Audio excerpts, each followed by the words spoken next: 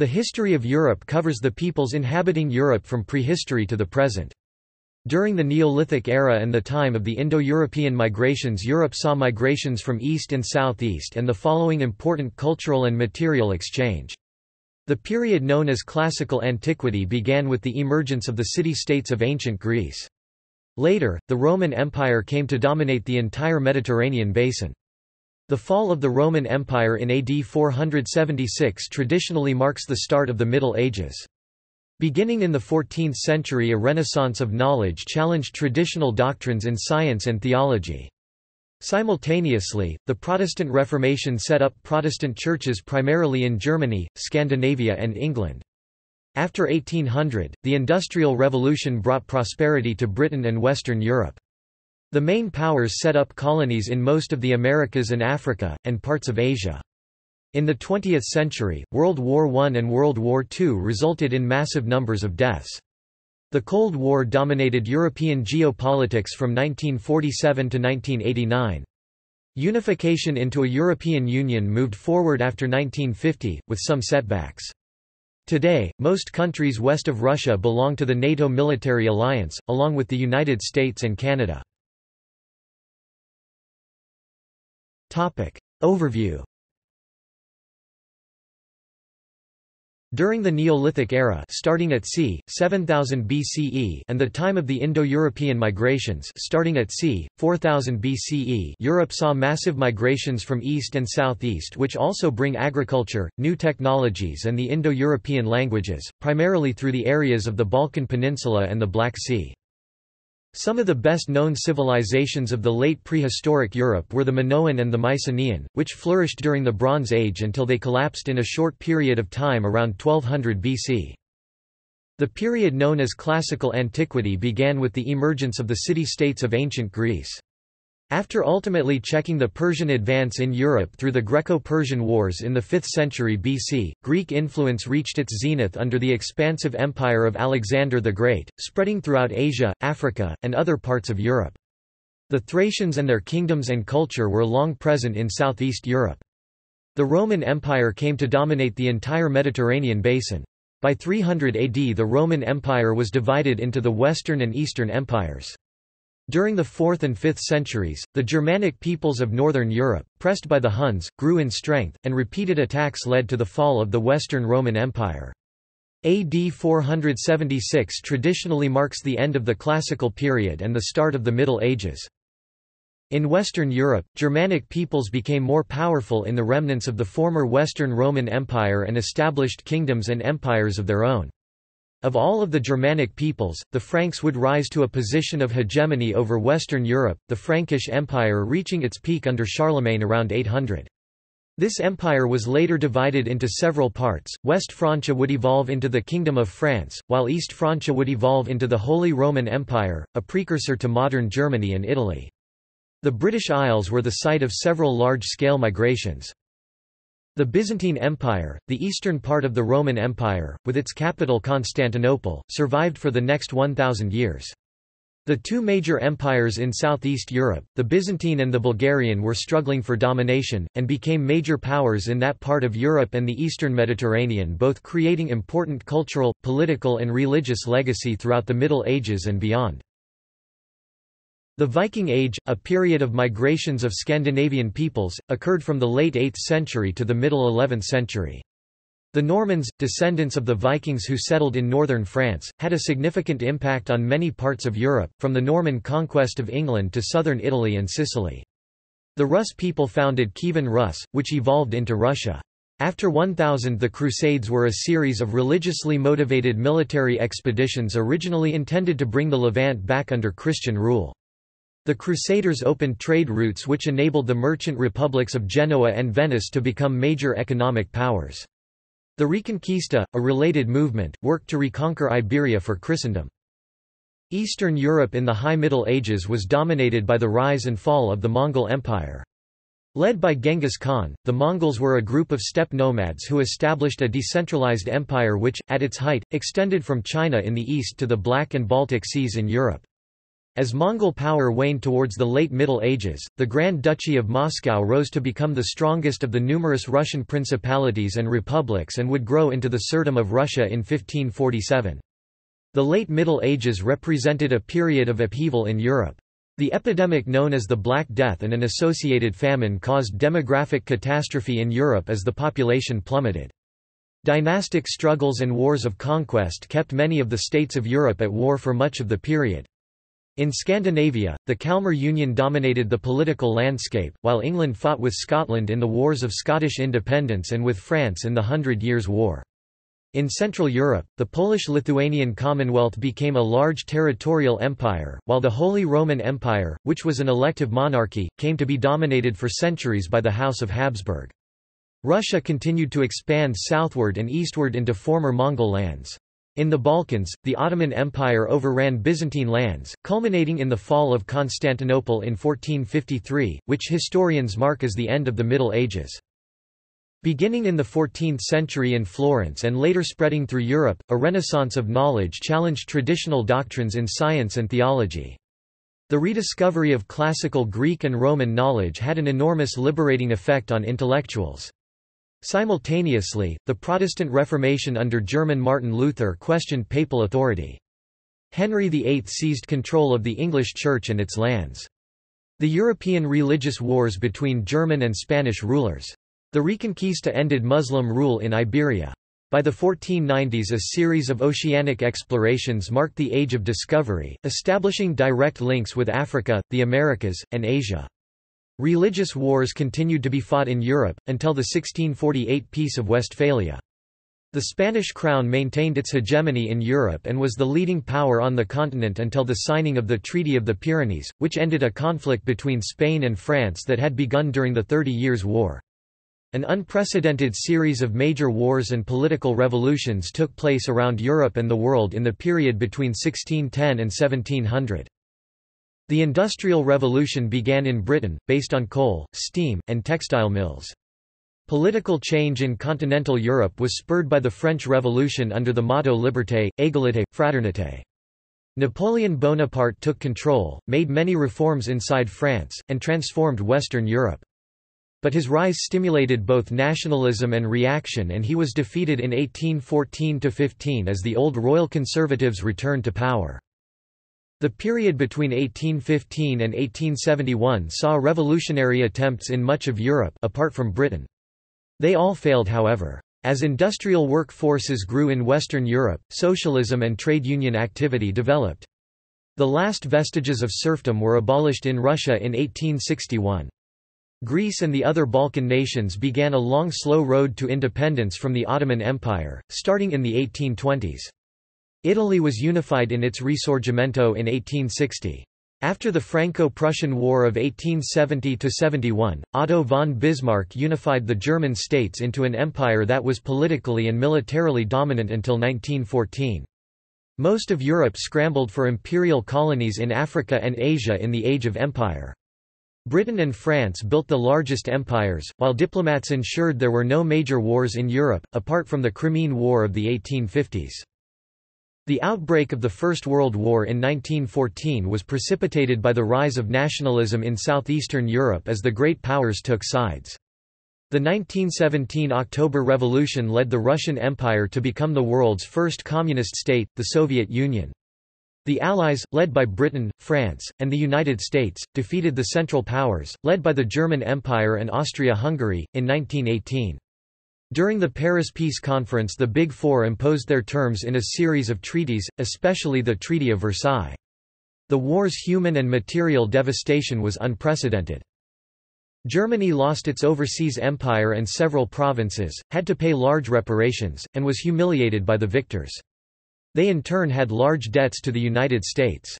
The 1920s were prosperous until 1929 when the Great Depression broke out, which led to the collapse of democracy in many European states. The Nazi regime under Adolf Hitler came to power in 1933, rearmed Germany, and along with Mussolini's Italy sought to assert themselves on the continent by demands and appeasement, leading eventually to the Second World War. Most of the fighting took place on the Eastern Front, and the war ended with the defeat of the Axis powers, leaving the USSR and the United States dominating Eastern and Western Europe respectively. The Iron Curtain now separated the East under Moscow's control from the capitalist West. The United States launched the Marshall Plan from 1948 to 51 and NATO from 1949, and rebuilt industrial economies that all were thriving by the 1950s. France and West Germany took the lead in forming the European Economic Community, which eventually became the European Union (EU). Secularization saw the weakening of Protestant and Catholic churches across most of Europe, except where they were symbols of anti-government resistance, as in Poland. The revolutions of 1989 brought an end to both Soviet hegemony and communism in Eastern Europe. Germany was reunited, Europe's integration deepened, and both NATO and the EU expanded to the east. The EU came under increasing pressure because of the worldwide recession after 2008. Topic: Prehistory Homo erectus migrated from Africa to Europe before the emergence of modern humans. Lézignan-la-Cèbe in France, Orce in Spain, Monte Poggiolo Italy and Kozarnika in Bulgaria are amongst the oldest Paleolithic sites in Europe. The earliest appearance of anatomically modern people in Europe has been dated to 35,000 BC, usually referred to as the Cro-Magnon man. Some locally developed transitional cultures Uluzzian in Italy and Greece, Altmühlian in Germany, Szeletian in Central Europe and Châtelperronian in the southwest use clearly Upper Paleolithic technologies at very early dates. Nevertheless, the definitive advance of these technologies is made by the Aurignacian culture. The origins of this culture can be located in the Levant and Hungary first full Aurignacian. By 35,000 BC, the Aurignacian culture and its technology had extended through most of Europe. The last Neanderthals seem to have been forced to retreat during this process to the southern half of the Iberian Peninsula. Around 29,000 BC a new technology, culture appeared in the western region of Europe, the Gravettian. This technology, culture has been theorized to have come with migrations of people from the Balkans see. Around 16,000 BC, Europe witnessed the appearance of a new culture, known as Magdalenian, possibly rooted in the Old Gravettian. This culture soon superseded the Solutrean area and the Gravettian of mainly France, Spain, Germany, Italy, Poland, Portugal and Ukraine. The Hamburg culture prevailed in northern Europe in the 14th and the 13th millennium BC as the Creswellian also termed the British Late Magdalenian did shortly after in the British Islands. Around 12,500 BC, the Würm glaciation ended. Slowly, through the following millennia, temperatures and sea levels rose, changing the environment of prehistoric people. Nevertheless, Magdalenian culture persisted until c. 10,000 BC, when it quickly evolved into two microlithist cultures, Azilian in Spain and southern France, and then Sauveterrian, in southern France and Tardenoisian in Central Europe, while in northern Europe the Lyngby complex succeeded the Hamburg culture with the influence of the Federmesser group as well. Evidence of permanent settlement dates from the 8th millennium BC in the Balkans. The Indo-European migrations started at around c. 4200 BCE through the areas of the Black Sea and the Balkan Peninsula in East and Southeast Europe. In the next 3,000 years the Indo-European languages expanded through Europe.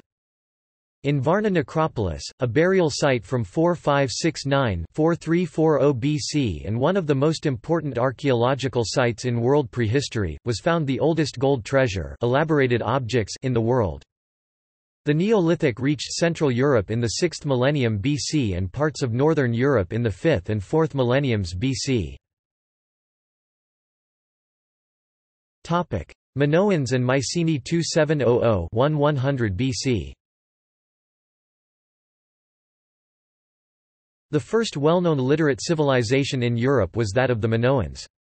The Minoan civilization was a Bronze Age civilization that arose on the island of Crete and flourished from approximately the 27th century BC to the 15th century BC. It was rediscovered at the beginning of the 20th century through the work of the British archaeologist Arthur Evans. Will Durant referred to it as the first link in the European chain. The Minoans were replaced by the Mycenaean civilization which flourished during the period roughly between 1600 BC, when Helladic culture in mainland Greece was transformed under influences from Minoan Crete, and 1100 BC. The major Mycenaean cities were Mycenae and Tiryns in Argolis, Pylos in Messenia, Athens in Attica, Thebes and Orchomenus in Boeotia, and Iolcos in Thessaly. In Crete, the Mycenaeans occupied Knossos. Mycenaean settlement sites also appeared in Epirus, Macedonia, on islands in the Aegean Sea, on the coast of Asia Minor, the Levant, Cyprus and Italy. Mycenaean artifacts have been found well outside the limits of the Mycenaean world. Quite unlike the Minoans, whose society benefited from trade, the Mycenaeans advanced through conquest. Mycenaean civilization was dominated by a warrior aristocracy. Around 1400 BC, the Mycenaeans extended their control to Crete, center of the Minoan civilization, and adopted a form of the Minoan script called Linear A to write their early form of Greek in Linear B. The Mycenaean civilization perished with the collapse of Bronze Age civilization on the eastern shores of the Mediterranean Sea. The collapse is commonly attributed to the Dorian invasion, although other theories describing natural disasters and climate change have been advanced as well.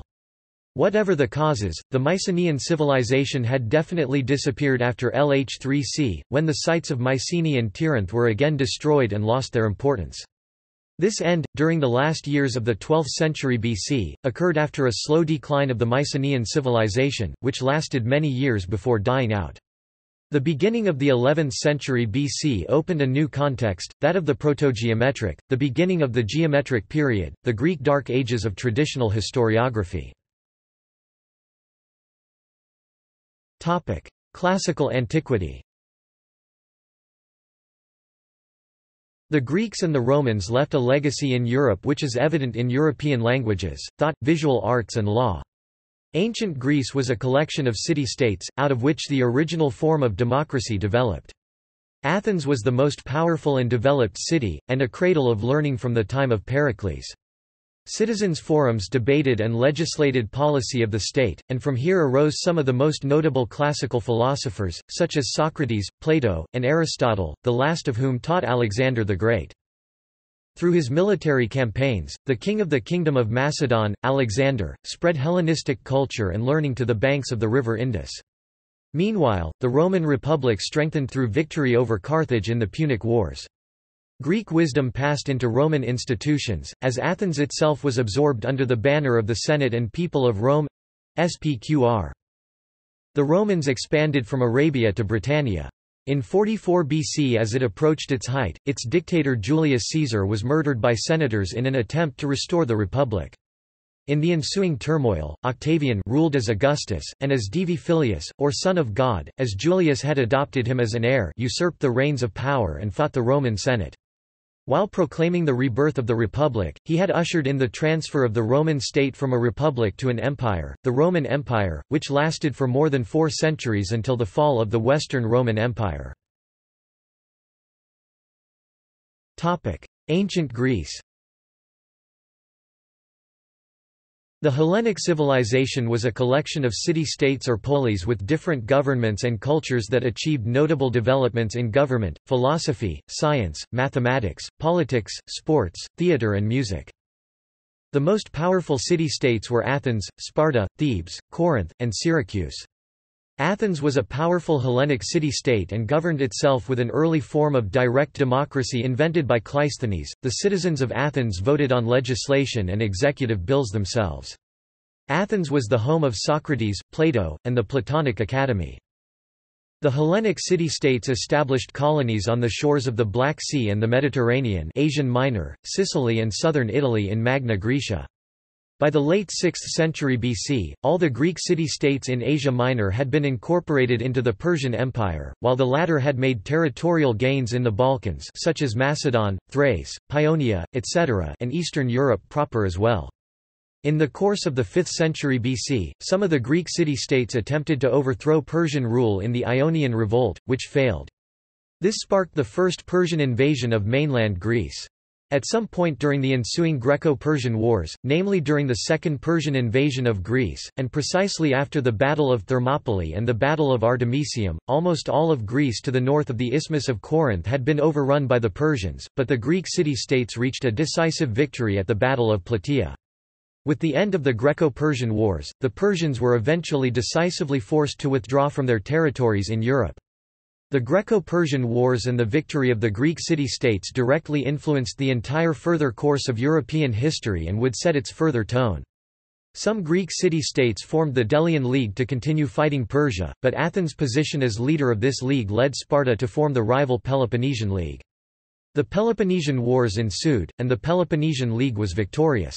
Subsequently, discontent with Spartan hegemony led to the Corinthian War and the defeat of Sparta at the Battle of Leuctra. At the same time at the north ruled the Thracian Odrysian kingdom between the 5th century BC and the 1st century AD. Hellenic infighting left Greek city-states vulnerable, and Philip II of Macedon united the Greek city-states under his control.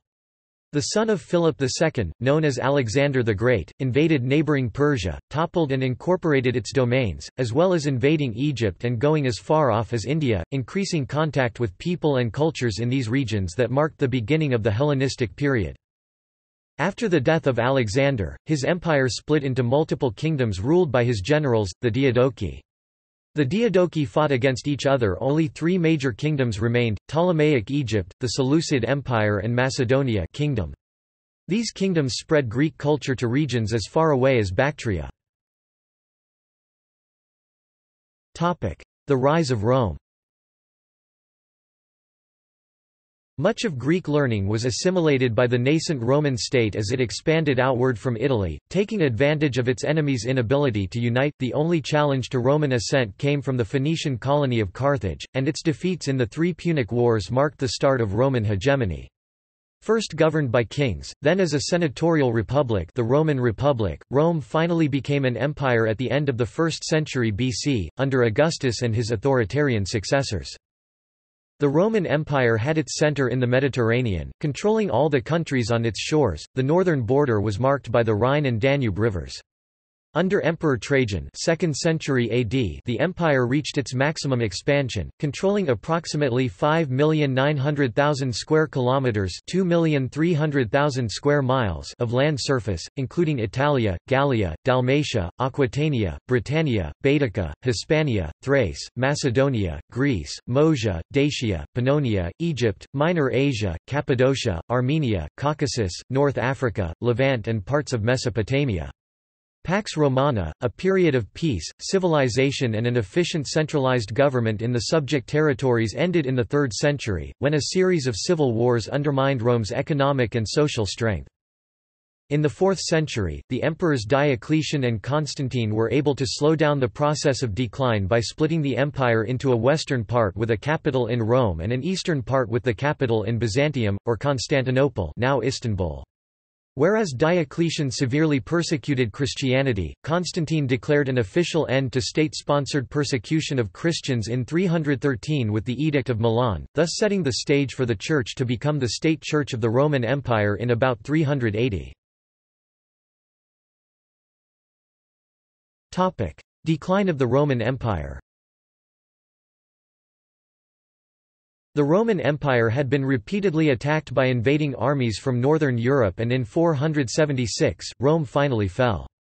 Romulus Augustus, the last emperor of the Western Roman Empire, surrendered to the Germanic king Odoacer.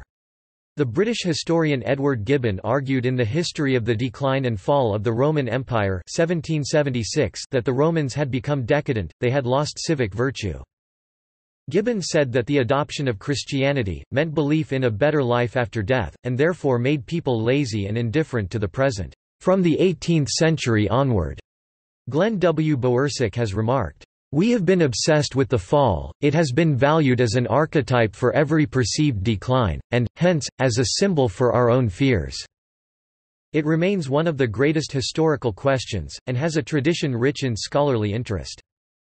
Some other notable dates are the Battle of Adrianople in 378, the death of Theodosius I in 395 the last time the Roman Empire was politically unified, the crossing of the Rhine in 406 by Germanic tribes after the withdrawal of the legions to defend Italy against Alaric I, the death of Stilicho in 408, followed by the disintegration of the Western legions, the death of Justinian I, the last Roman emperor who tried to reconquer the West, in 565, and the coming of Islam after 632. Many scholars maintain that rather than a fall, the changes can more accurately be described as a complex transformation. Over time many theories have been proposed on why the empire fell, or whether indeed it fell at all. Late antiquity and migration period When Emperor Constantine had reconquered Rome under the banner of the Cross in 312, he soon afterwards issued the Edict of Milan in 313 preceded by the Edict of Serdica in 311, declaring the legality of Christianity in the Roman Empire. In addition, Constantine officially shifted the capital of the Roman Empire from Rome to the Greek town of Byzantium, which he renamed Nova Roma it was later named Constantinople, city of Constantine. In 395 Theodosius I, who had made Christianity the official religion of the Roman Empire, would be the last emperor to preside over a united Roman Empire. The empire was split into two halves, the Western Roman Empire centered in Ravenna, and the Eastern Roman Empire later to be referred to as the Byzantine Empire centered in Constantinople. The Roman Empire was repeatedly attacked by Hunnic, Germanic, Slavic and other barbarian tribes see, migration period, and in 476 finally the western part fell to the Heruli chieftain Odoacer.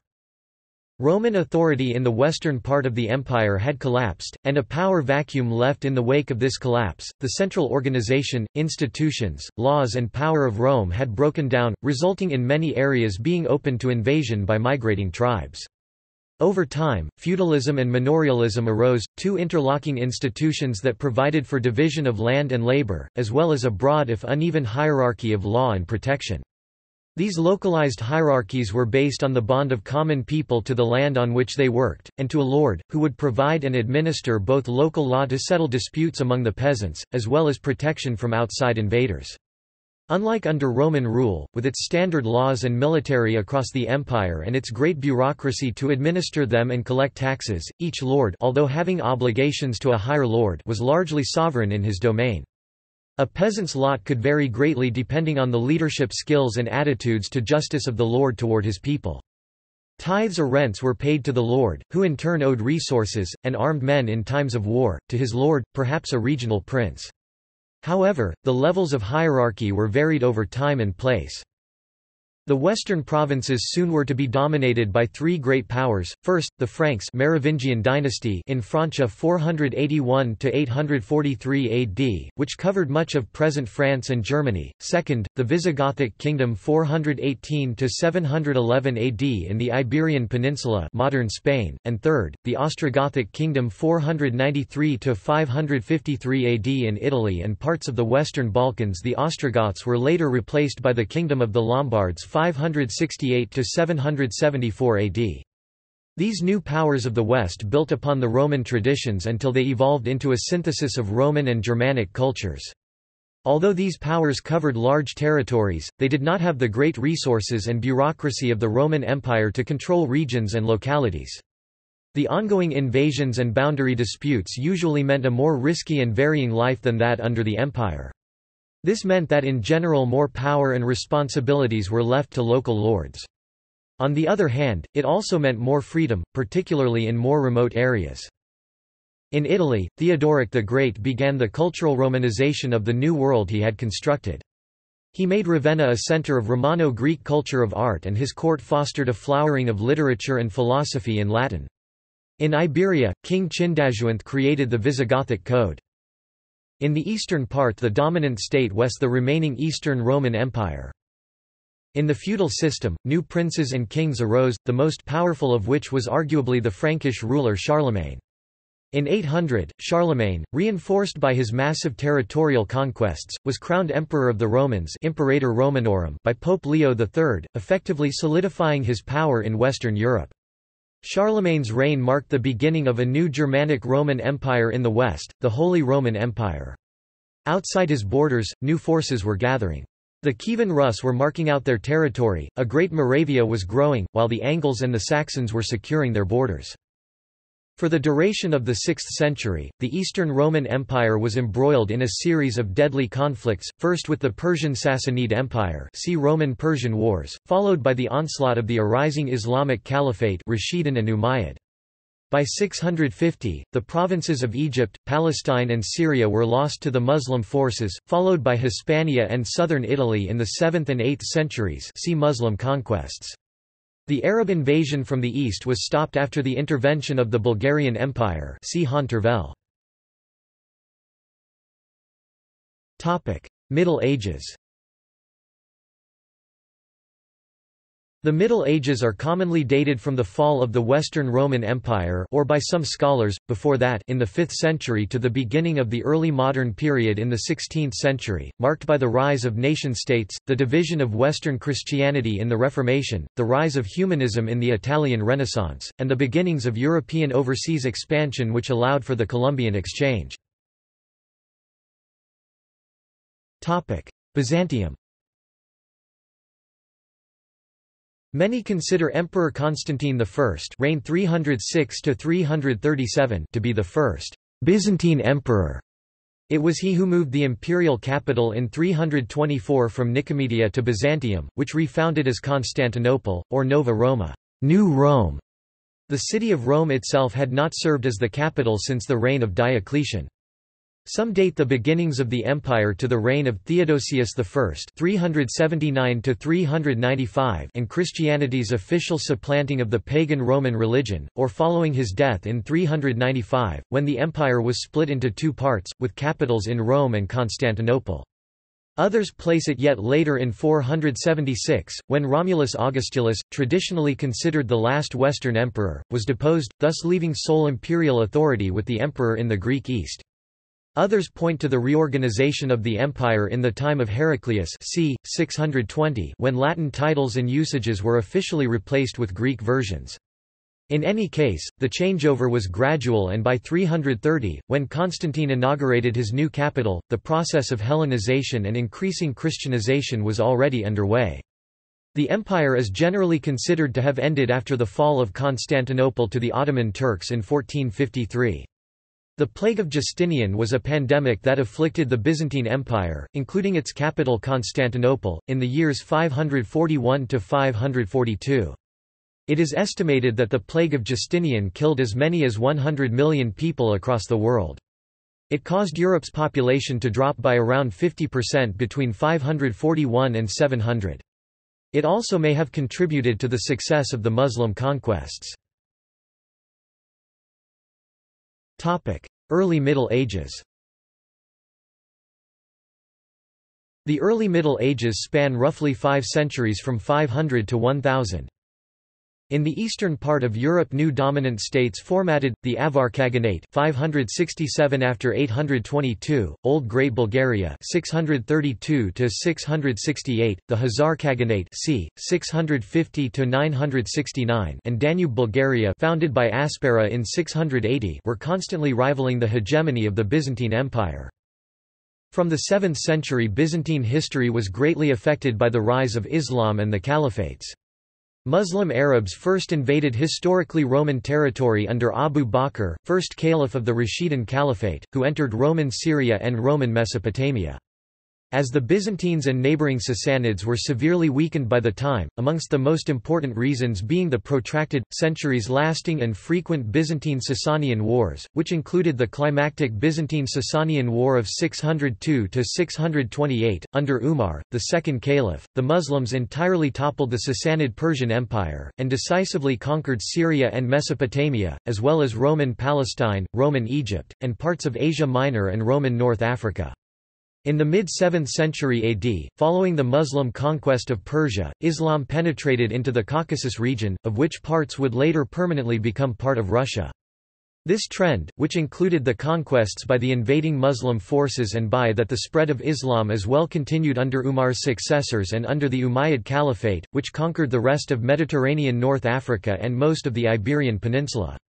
Over the next centuries Muslim forces were able to take further European territory, including Cyprus, Malta, Crete, and Sicily and parts of southern Italy. The Muslim conquest of Hispania began when the Moors Berbers and Arabs invaded the Christian Visigothic kingdom of Hispania in the year 711, under the Berber general Tariq ibn Ziyad.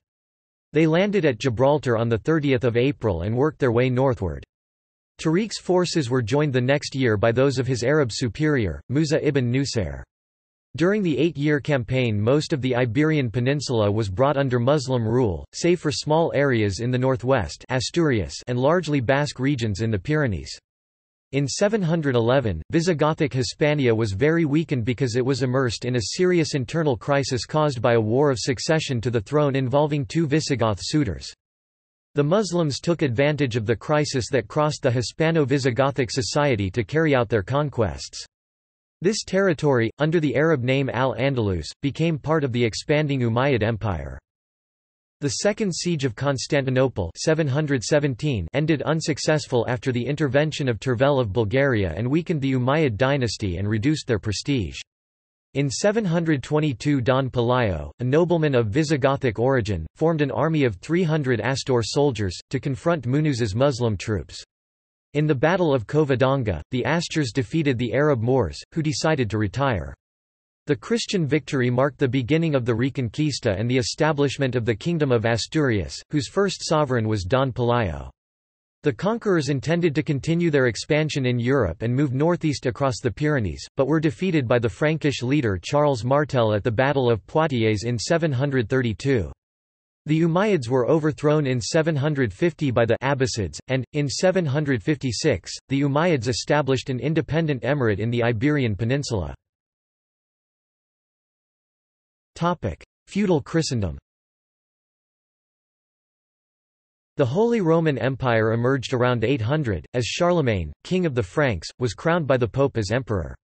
His empire based in modern France, the Low Countries and Germany expanded into modern Hungary, Italy, Bohemia, Lower Saxony and Spain. He and his father received substantial help from an alliance with the Pope, who wanted help against the Lombards. To the east, Bulgaria was established in 681 and became the first Slavic country. The powerful Bulgarian Empire was the main rival of Byzantium for control of the Balkans for centuries and from the 9th century became the cultural center of Slavic Europe. The empire created the Cyrillic script during the 9th century AD, at the Preslav Literary School, and experienced the golden age of Bulgarian cultural prosperity during the reign of Emperor Simeon I the Great 893 927. Two states, Great Moravia and Kievan Rus, emerged among the Slavic peoples respectively in the 9th century. In the late 9th and 10th centuries, northern and western Europe felt the burgeoning power and influence of the Vikings who raided, traded, conquered and settled swiftly and efficiently with their advanced seagoing vessels such as the longships. The Hungarians pillaged mainland Europe, the Pechenegs raided Bulgaria, Rus states and the Arab states. In the 10th century independent kingdoms were established in Central Europe including Poland and the newly settled Kingdom of Hungary. The kingdoms of Croatia and Serbia also appeared in the Balkans. The subsequent period, ending around 1000, saw the further growth of feudalism, which weakened the Holy Roman Empire. In Eastern Europe, Volga Bulgaria became an Islamic state in 921, after Almas I converted to Islam under the missionary efforts of Ahmad ibn Fadlan. Slavery in the early medieval period had mostly died out in Western Europe by about the year 1000 AD, replaced by serfdom. It lingered longer in England and in peripheral areas linked to the Muslim world, where slavery continued to flourish. Church rules suppressed slavery of Christians. Most historians argue the transition was quite abrupt around 1000, but some see a gradual transition from about 300 to 1000. High Middle Ages The slumber of the Dark Ages was shaken by a renewed crisis in the Church. In 1054, the East-West Schism, an insoluble split, occurred between the two remaining Christian seats in Rome and Constantinople modern Istanbul.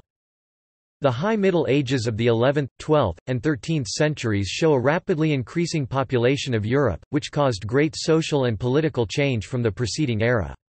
By 1250, the robust population increase greatly benefited the economy, reaching levels it would not see again in some areas until the 19th century. From about the year 1000 onwards, Western Europe saw the last of the barbarian invasions and became more politically organized. The Vikings had settled in Britain, Ireland, France and elsewhere, whilst Norse Christian kingdoms were developing in their Scandinavian homelands. The Magyars had ceased their expansion in the 10th century, and by the year 1000, the Roman Catholic Apostolic Kingdom of Hungary was recognized in Central Europe.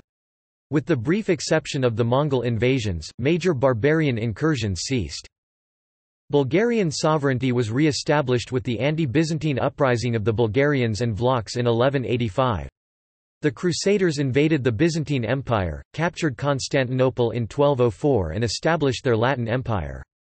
Kaloyan of Bulgaria defeated Baldwin I, Latin Emperor of Constantinople, in the Battle of Adrianople on 14 April 1205.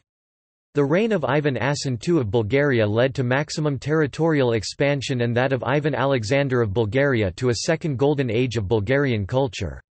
The Byzantine Empire was fully re-established in 1261. In the 11th century, populations north of the Alps began to settle new lands, some of which had reverted to wilderness after the end of the Roman Empire. In what is known as the Great Clearances, vast forests and marshes of Europe were cleared and cultivated. At the same time settlements moved beyond the traditional boundaries of the Frankish Empire to new frontiers in Europe, beyond the Elbe River, tripling the size of Germany in the process. Crusaders founded European colonies in the Levant, the majority of the Iberian Peninsula was conquered from the Muslims, and the Normans colonized southern Italy, all part of the major population increase and resettlement pattern.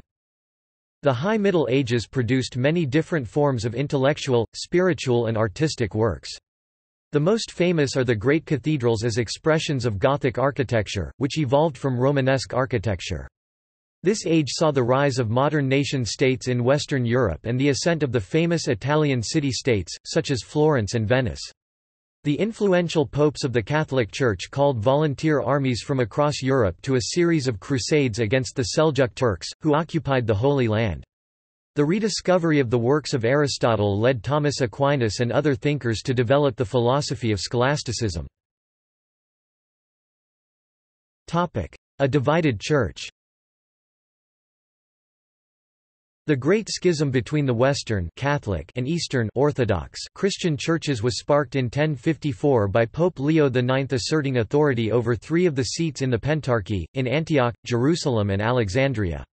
Since the mid-8th century, the Byzantine Empire's borders had been shrinking in the face of Islamic expansion. Antioch had been wrested back into Byzantine control by 1045, but the resurgent power of the Roman successors in the west claimed a right and a duty for the lost seats in Asia and Africa. Pope Leo sparked a further dispute by defending the Filioque clause in the Nicene Creed which the West had adopted customarily. The Orthodox today state that the 28th canon of the Council of Chalcedon explicitly proclaimed the equality of the bishops of Rome and Constantinople. The Orthodox also state that the Bishop of Rome has authority only over his own diocese and does not have any authority outside his diocese. There were other less significant catalysts for the schism however, including variants over liturgy. The schism of Roman Catholic and Orthodox followed centuries of estrangement between the Latin and Greek worlds. Further changes were set afoot with a redivision of power in Europe. William the Conqueror, a Duke of Normandy, invaded England in 1066. The Norman conquest was a pivotal event in English history for several reasons. This linked England more closely with continental Europe through the introduction of a Norman aristocracy, thereby lessening Scandinavian influence. It created one of the most powerful monarchies in Europe and engendered a sophisticated governmental system. Being based on an island, moreover, England was to develop a powerful navy and trade relationships that would come to encompass a vast proportion of the world including India, Australia, New Zealand, Canada and many key naval strategic points like Bermuda, Suez, Hong Kong and especially Gibraltar. These strategic advantages grew and were to prove decisive until after the Second World War. Holy Wars After the East-West Schism, Western Christianity was adopted by the newly created kingdoms of Central Europe, Poland, Hungary and Bohemia. The Roman Catholic Church developed as a major power, leading to conflicts between the Pope and Emperor. The geographic reach of the Roman Catholic Church expanded enormously due to the conversions of pagan kings Scandinavia, Lithuania, Poland, Hungary, the Christian Reconquista of Al-Andalus, and the Crusades. Most of Europe was Roman Catholic in the 15th century. Early signs of the rebirth of civilization in Western Europe began to appear in the 11th century as trade started again in Italy, leading to the economic and cultural growth of independent city-states such as Venice and Florence. At the same time, nation-states began to take form in places such as France, England, Spain, and Portugal, although the process of their formation usually marked by rivalry between the monarchy, the aristocratic feudal lords and the church actually took several centuries. These new nation-states began writing in their own cultural vernaculars, instead of the traditional Latin. Notable figures of this movement would include Dante Alighieri and Christine de Pisan born Cristina da Pisano, the former writing in Italian, and the latter, although an Italian Venice, relocated to France, writing in French. See Reconquista for the latter two countries. Elsewhere, the Holy Roman Empire, essentially based in Germany and Italy, further fragmented into a myriad of feudal principalities or small city-states, whose subjection to the emperor was only formal. The 14th century, when the Mongol Empire came to power, is often called the Age of the Mongols. Mongol armies expanded westward under the command of Batu Khan.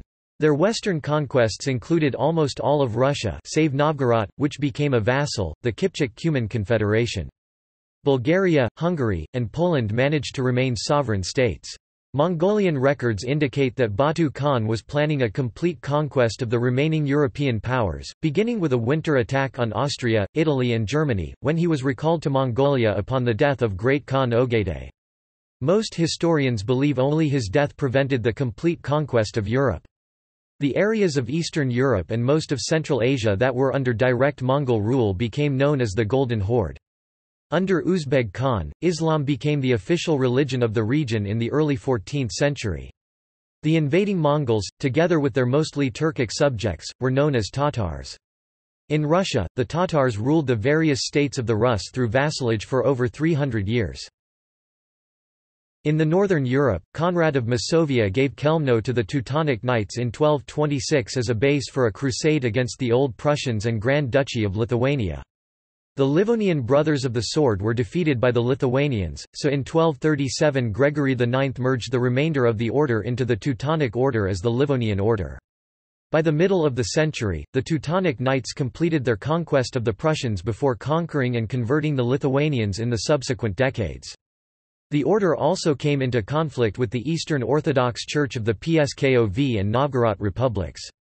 In 1240 the Orthodox Novgorod army defeated the Catholic Swedes in the Battle of the Neva, and, two years later, they defeated the Livonian order in the Battle on the Ice.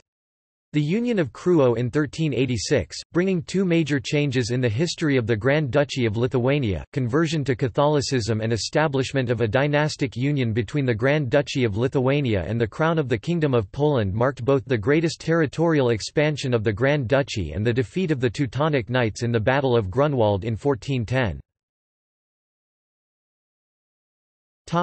Late Middle Ages The late Middle Ages spanned the 14th and 15th centuries. Around 1300, centuries of European prosperity and growth came to a halt. A series of famines and plagues, such as the Great Famine of 1315–1317 and the Black Death, killed people in a matter of days, reducing the population of some areas by half as many survivors fled. Kishlansky reports, the Black Death touched every aspect of life, hastening a process of social, economic, and cultural transformation already underway. Fields were abandoned, workplaces stood idle, international trade was suspended. Traditional bonds of kinship, village, and even religion were broken and the horrors of death, flight, and failed expectations.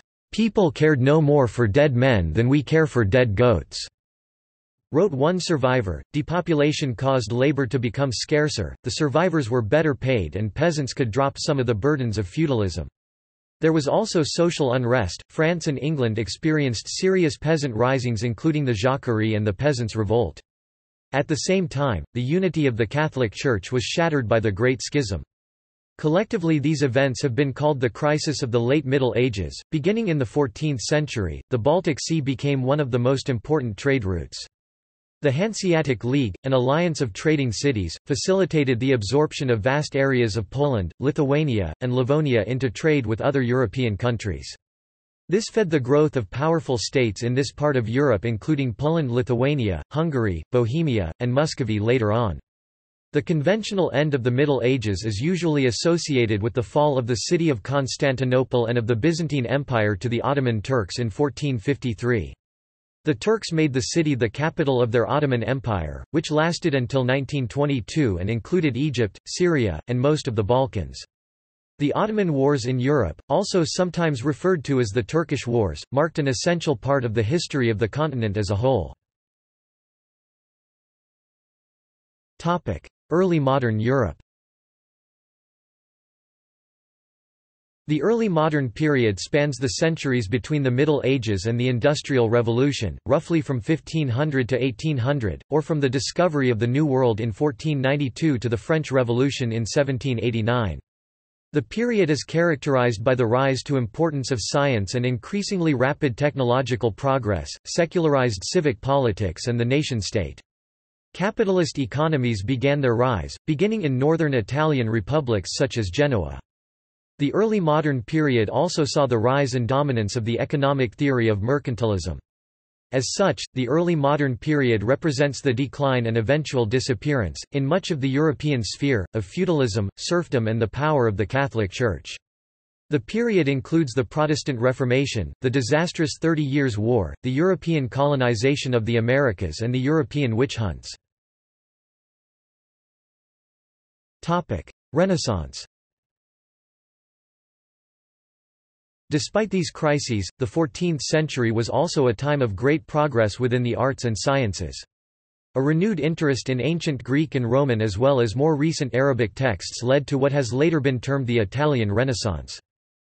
The Renaissance was a cultural movement that profoundly affected European intellectual life in the early modern period. Beginning in Italy, and spreading to the north, west and middle Europe during a cultural lag of some two and a half centuries, its influence affected literature, philosophy, art, politics, science, history, religion, and other aspects of intellectual enquiry.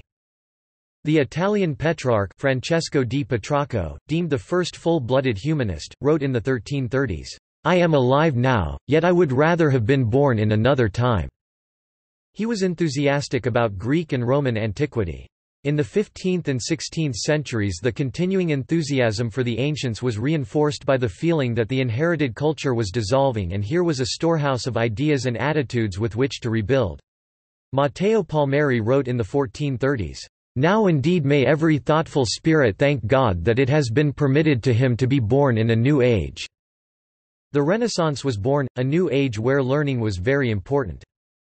The Renaissance was inspired by the growth in study of Latin and Greek texts and the admiration of the Greco-Roman era as a golden age.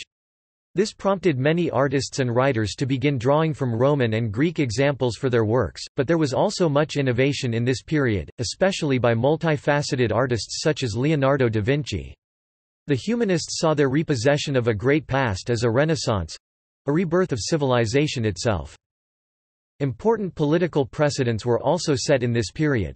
Niccolò Machiavelli's political writing in The Prince influenced later absolutism and realpolitik.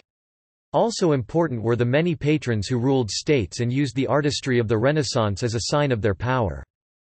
In all, the Renaissance could be viewed as an attempt by intellectuals to study and improve the secular and worldly, both through the revival of ideas from antiquity, and through novel approaches to thought—the immediate past being too «Gothic» in language, thought and sensibility.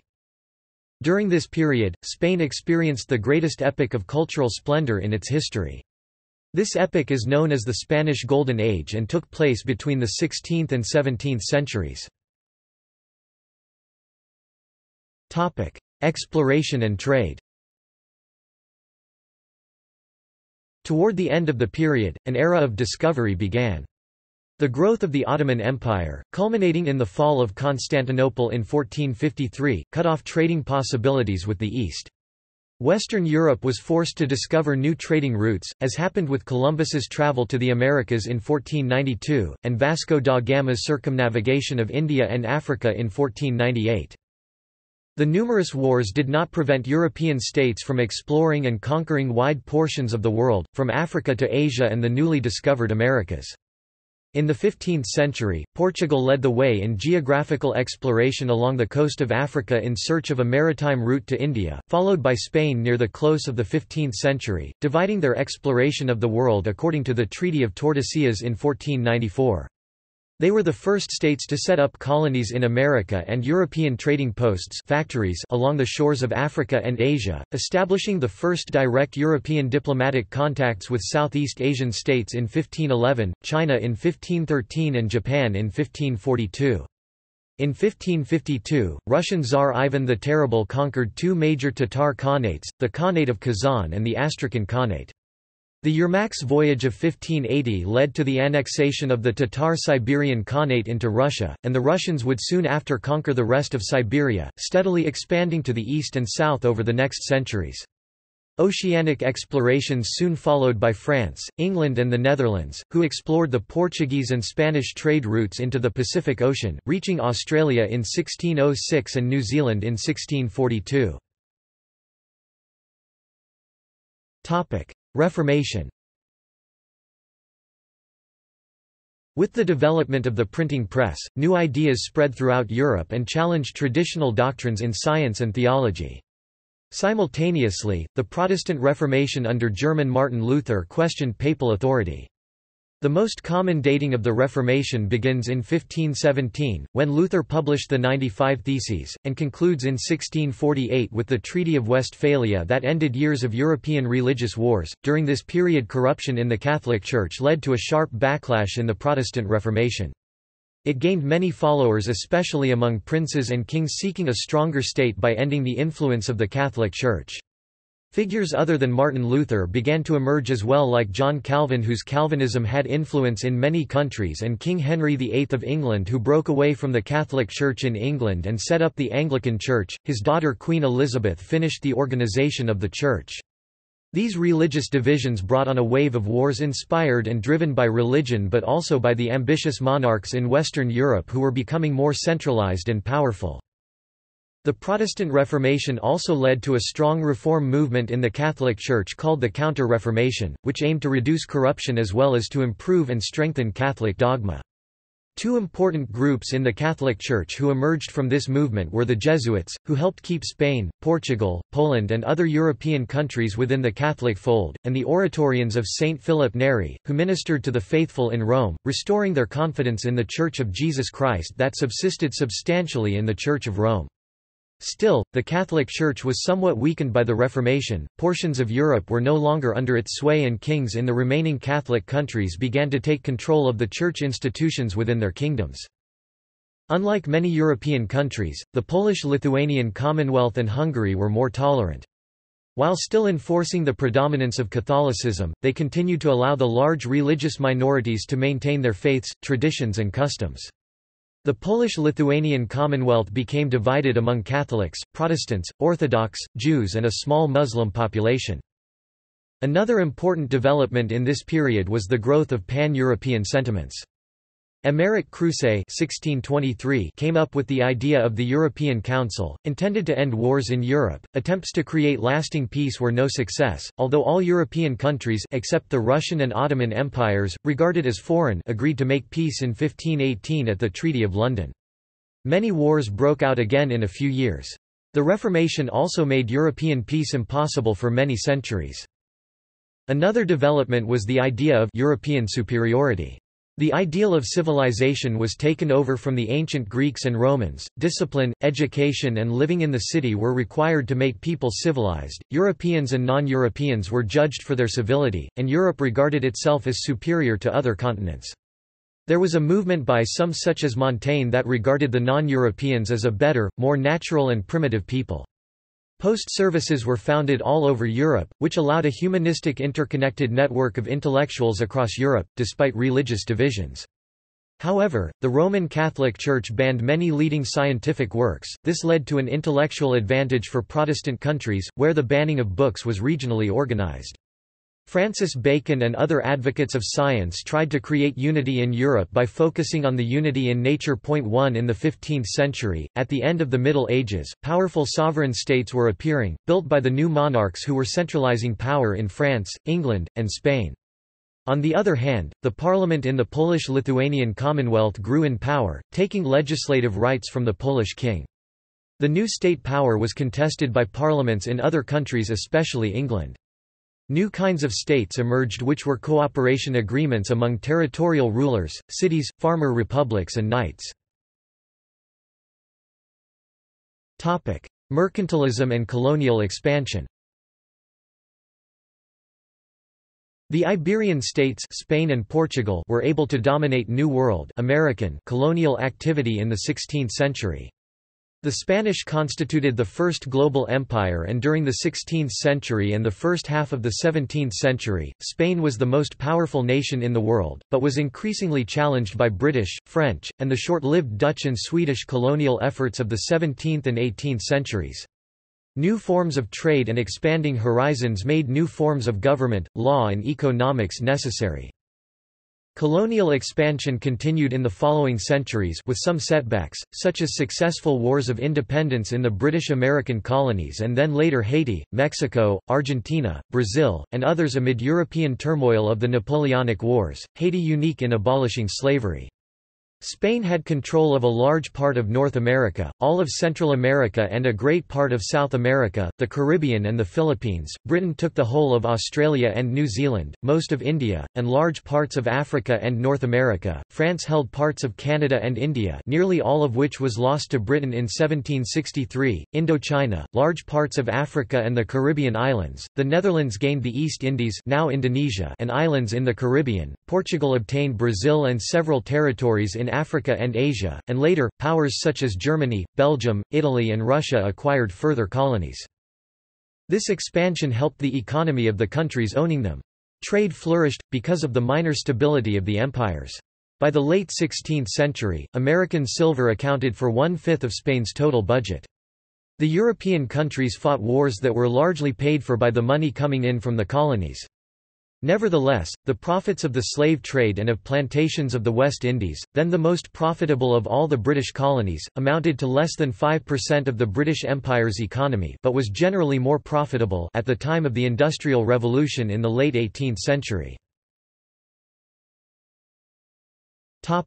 Crisis of the 17th century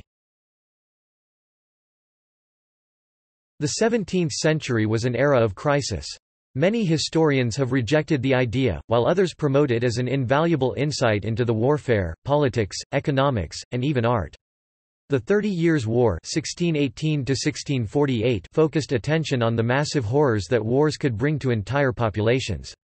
The 1640s in particular saw more state breakdowns around the world than any previous or subsequent period. The Polish-Lithuanian Commonwealth, the largest state in Europe, temporarily disappeared. In addition, there were secessions and upheavals in several parts of the Spanish Empire, the world's first global empire. In Britain the entire Stuart monarchy England, Scotland, Ireland, and its North American colonies rebelled. Political insurgency and a spate of popular revolts seldom equaled shook the foundations of most states in Europe and Asia. More wars took place around the world in the mid-17th century than in almost any other period of recorded history. The crises spread far beyond Europe. For example Ming China, the most populous state in the world, collapsed. Across the Northern Hemisphere, the mid-17th century experienced almost unprecedented death rates. Geoffrey Parker, a British historian, suggests that environmental factors may have been in part to blame, especially global cooling. Age of absolutism The absolute Rule of powerful monarchs such as Louis XIV ruled France 1643 to 1715, Peter the Great ruled Russia 1682 to 1725, Maria Theresa ruled Habsburg lands 1740 to 1780, and Frederick the Great ruled Prussia 1740 to 86, produced powerful centralized states with strong armies and powerful bureaucracies, all under the control of the king. Throughout the early part of this period, capitalism through mercantilism was replacing feudalism as the principal form of economic organization, at least in the western half of Europe. The expanding colonial frontiers resulted in a commercial revolution. The period is noted for the rise of modern science and the application of its findings to technological improvements, which animated the Industrial Revolution after 1750. The Reformation had profound effects on the unity of Europe. Not only were nations divided one from another by their religious orientation, but some states were torn apart internally by religious strife, avidly fostered by their external enemies. France suffered this fate in the 16th century in the series of conflicts known as the French Wars of Religion, which ended in the triumph of the Bourbon dynasty. England avoided this fate for a while and settled down under Elizabeth to a moderate Anglicanism. Much of modern-day Germany was made up of numerous small sovereign states under the theoretical framework of the Holy Roman Empire, which was further divided along internally drawn sectarian lines. The Polish-Lithuanian Commonwealth is notable in this time for its religious indifference and a general immunity to the horrors of European religious strife. Thirty Years' War 1618–1648 The Thirty Years' War was fought between 1618 and 1648, across Germany and neighbouring areas, and involved most of the major European powers except England and Russia. Beginning as a religious conflict between Protestants and Catholics in Bohemia, it quickly developed into a general war involving Catholics versus Protestants for the most part. The major impact of the war, in which mercenary armies were extensively used, was the devastation of entire regions scavenged bare by the foraging armies. Episodes of widespread famine and disease, and the breakup of family life, devastated the population of the German states and, to a lesser extent, the Low Countries, Bohemia and Italy, while bankrupting many of the regional powers involved. Between one-fourth and one-third of the German population perished from direct military causes or from disease and starvation, as well as postponed births. After the Peace of Westphalia, which ended the war in favor of nations deciding their own religious allegiance, absolutism became the norm of the continent, while parts of Europe experimented with constitutions foreshadowed by the English Civil War and particularly the Glorious Revolution. European military conflict did not cease, but had less disruptive effects on the lives of Europeans. In the advanced Northwest, the Enlightenment gave a philosophical underpinning to the new outlook, and the continued spread of literacy, made possible by the printing press, created new secular forces in thought. From the Union of Krewo 1385, Central and Eastern Europe was dominated by Kingdom of Poland and Grand Duchy of Lithuania. In the 16th and 17th centuries Central and Eastern Europe was an arena of conflict for domination of the continent between Sweden, the Polish-Lithuanian Commonwealth and the Ottoman Empire. The Polish-Lithuanian Commonwealth continued dominance Central and Eastern Europe until series of wars, Khmelnytsky Uprising, Russo-Polish War and the Deluge. This period saw a gradual decline of these three powers which were eventually replaced by new enlightened absolutist monarchies, Russia, Prussia and Austria. By the turn of the 19th century they had become new powers, having divided Poland between themselves, with Sweden and Turkey having experienced substantial territorial losses to Russia and Austria respectively as well as pauperization. War of the Spanish Succession The War of the Spanish Succession 1701 was a major war with France opposed by a coalition of England, the Netherlands, the Austrian Empire, and Prussia. Duke of Marlborough commander the English and Dutch victory at the Battle Blenheim in 1704.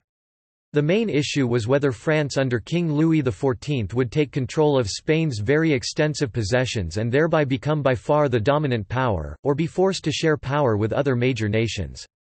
After initial Allied successes, the Long War produced a military stalemate and ended with the Treaty of Utrecht, which was based on a balance of power in Europe. Historian Russell Weigley argues that the many wars almost never accomplished more than they cost. British historian G. M. Trevelyan argues, That Treaty of Utrecht, which ushered in the stable and characteristic period of 18th-century civilization, marked the end of danger to Europe from the old French monarchy, and it marked a change of no less significance to the world at large—the maritime, commercial and financial supremacy of Great Britain. Prussia Frederick the Great, King of Prussia 1740–86, modernized the Prussian army, introduced new tactical and strategic concepts, fought mostly successful wars and doubled the size of Prussia. Frederick had a rationale based on Enlightenment thought, he fought total wars for limited objectives. The goal was to convince rival kings that it was better to negotiate and make peace than to fight him. Russia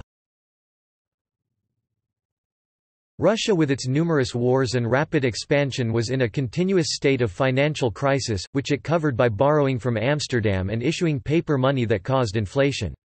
Russia boasted a large and powerful army, a very large and complex internal bureaucracy, and a splendid court that rivaled Paris and London. However the government was living far beyond its means and seized church lands, leaving organized religion in a weak condition. Throughout the 18th century Russia remained a poor, backward, overwhelmingly agricultural, and illiterate country. Enlightenment The Enlightenment was a powerful, widespread cultural movement of intellectuals beginning in late 17th century Europe emphasizing the power of reason rather than tradition. It was especially favorable to science, especially Isaac Newton's physics, and hostile to religious orthodoxy, especially of the Catholic Church. It sought to analyze and reform society using reason, to challenge ideas grounded in tradition and faith, and to advance knowledge through the scientific method. It promoted scientific thought, skepticism, and intellectual interchange. The Enlightenment was a revolution in human thought. This new way of thinking was that rational thought begins with clearly stated principles, uses correct logic to arrive at conclusions, tests the conclusions against evidence, and then revises the principles in the light of the evidence. Enlightenment thinkers opposed superstition. Some Enlightenment thinkers collaborated with enlightened despots, absolutist rulers who attempted to forcibly impose some of the new ideas about government into practice. The ideas of the Enlightenment exerted significant influence on the culture, politics, and governments of Europe. Originating in the 17th century, it was sparked by philosophers Francis Bacon (1562–1626), Baruch Spinoza (1632–1677), John Locke (1632–1704), Pierre Bayle (1647–1706), Voltaire (1694–1778), Francis Hutcheson (1694–17 1746, David Hume (1711–1776), and physicist Isaac Newton (1643–1727). Ruling princes often endorsed and fostered these figures and even attempted to apply their ideas of government in what was known as enlightened absolutism. The scientific revolution is closely tied to the Enlightenment, as its discoveries overturned many traditional concepts and introduced new perspectives on nature and man's place within it. The Enlightenment flourished until about 1790–1800, at which point the Enlightenment, with its emphasis on reason, gave way to Romanticism, which placed a new emphasis on emotion. A counter-Enlightenment began to increase in prominence. The Romantics argued that the Enlightenment was reductionistic insofar as it had largely ignored the forces of imagination, mystery, and sentiment. In France, Enlightenment was based in the Salons and culminated in the Great Encyclopédie (1751–72), edited by Denis Diderot (1713–1784) and until 1759, Jean Le Rond d'Alembert (1717–1783), with contributions by hundreds of leading intellectuals who were called philosophes, notably Voltaire 1694–1778, Rousseau 1712–1778 and Montesquieu 1689–1755. Some 25,000 copies of the 35-volume encyclopedia were sold, half of them outside France. These new intellectual strains would spread to urban centres across Europe, notably England, Scotland, the German states, the Netherlands, Poland, Russia, Italy, Austria, and Spain, as well as Britain's American colonies. The political ideals of the Enlightenment influenced the American Declaration of Independence, the United States Bill of Rights, the French Declaration of the Rights of Man and of the Citizen, and the Polish-Lithuanian Constitution of 3 May 1791. Taking a long-term historical perspective, Norman Davies has argued that Freemasonry was a powerful force on behalf of liberalism and Enlightenment ideas in Europe, from about 1700 to the 20th century. It expanded rapidly during the Age of Enlightenment, reaching practically every country in Europe. Prominent members included Montesquieu, Voltaire, Sir Robert Walpole, Wolfgang Amadeus Mozart, Johann Wolfgang von Goethe, Benjamin Franklin, and George Washington. Stephen C. Bullock notes that in the late 18th century, English lodges were headed by the Prince of Wales, Prussian lodges by King Frederick the Great, and French lodges by royal princes. Emperor Napoleon selected as Grand Master of France his own brother. The great enemy of Freemasonry was the Roman Catholic Church, so that in countries with a large Catholic element, such as France, Italy, Austria, Spain, and Mexico, much of the ferocity of the political battles involved the confrontation between supporters of the Church versus active Masons. 20th century totalitarian movements, especially the fascists and communists, crushed the Freemasons. Topic. From Revolution to Imperialism 1789 to 1914 The long 19th century from 1789 to 1914 saw the drastic social, political and economic changes initiated by the Industrial Revolution, the French Revolution and the Napoleonic Wars. Following the reorganization of the political map of Europe at the Congress of Vienna in 1815, Europe experienced the rise of nationalism, the rise of the Russian Empire and the peak of the British Empire, which was paralleled by the decline of the Ottoman Empire. Finally, the rise of the German Empire and the Austro-Hungarian Empire initiated the course of events that culminated in the outbreak of the First World War in 1914. Industrial Revolution The Industrial Revolution was a period in the late 18th century and early 19th century when major changes in agriculture, manufacturing, and transport affected socio-economic and cultural conditions in Britain and subsequently spread throughout Europe and North America and eventually the world, a process that continues as industrialization. Technological advancements, most notably the invention of the steam engine by Scottish engineer James Watt, were major catalysts in the industrialisation of Britain and, later, the wider world. It started in England and Scotland in the mid-18th century with the mechanisation of the textile industries, the development of iron-making techniques and the increased use of refined coal. Trade expansion was enabled by the introduction of canals, improved roads and railways. The introduction of steam power fueled primarily by coal and powered machinery mainly in textile manufacturing underpinned the dramatic increases in production capacity. The development of all-metal machine tools in the first two decades of the 19th century facilitated the manufacture of more production machines for manufacturing in other industries. The effects spread throughout Western Europe and North America during the 19th century, eventually affecting most of the world. The impact of this change on society was enormous. Era of the French Revolution Historians R. R. Palmer and Joel Colton argue, in 1789 France fell into revolution, and the world has never since been the same. The French Revolution was by far the most momentous upheaval of the whole revolutionary age. It replaced the «old regime» with modern society, and at its extreme phase became very radical, so much so that all later revolutionary movements have looked back to it as a predecessor to themselves. From the 1760s to 1848, the role of France was decisive. The era of the French Revolution and the subsequent Napoleonic Wars was a difficult time for monarchs. Tsar Paul I of Russia was assassinated, King Louis XVI of France was executed, as was his queen Marie Antoinette.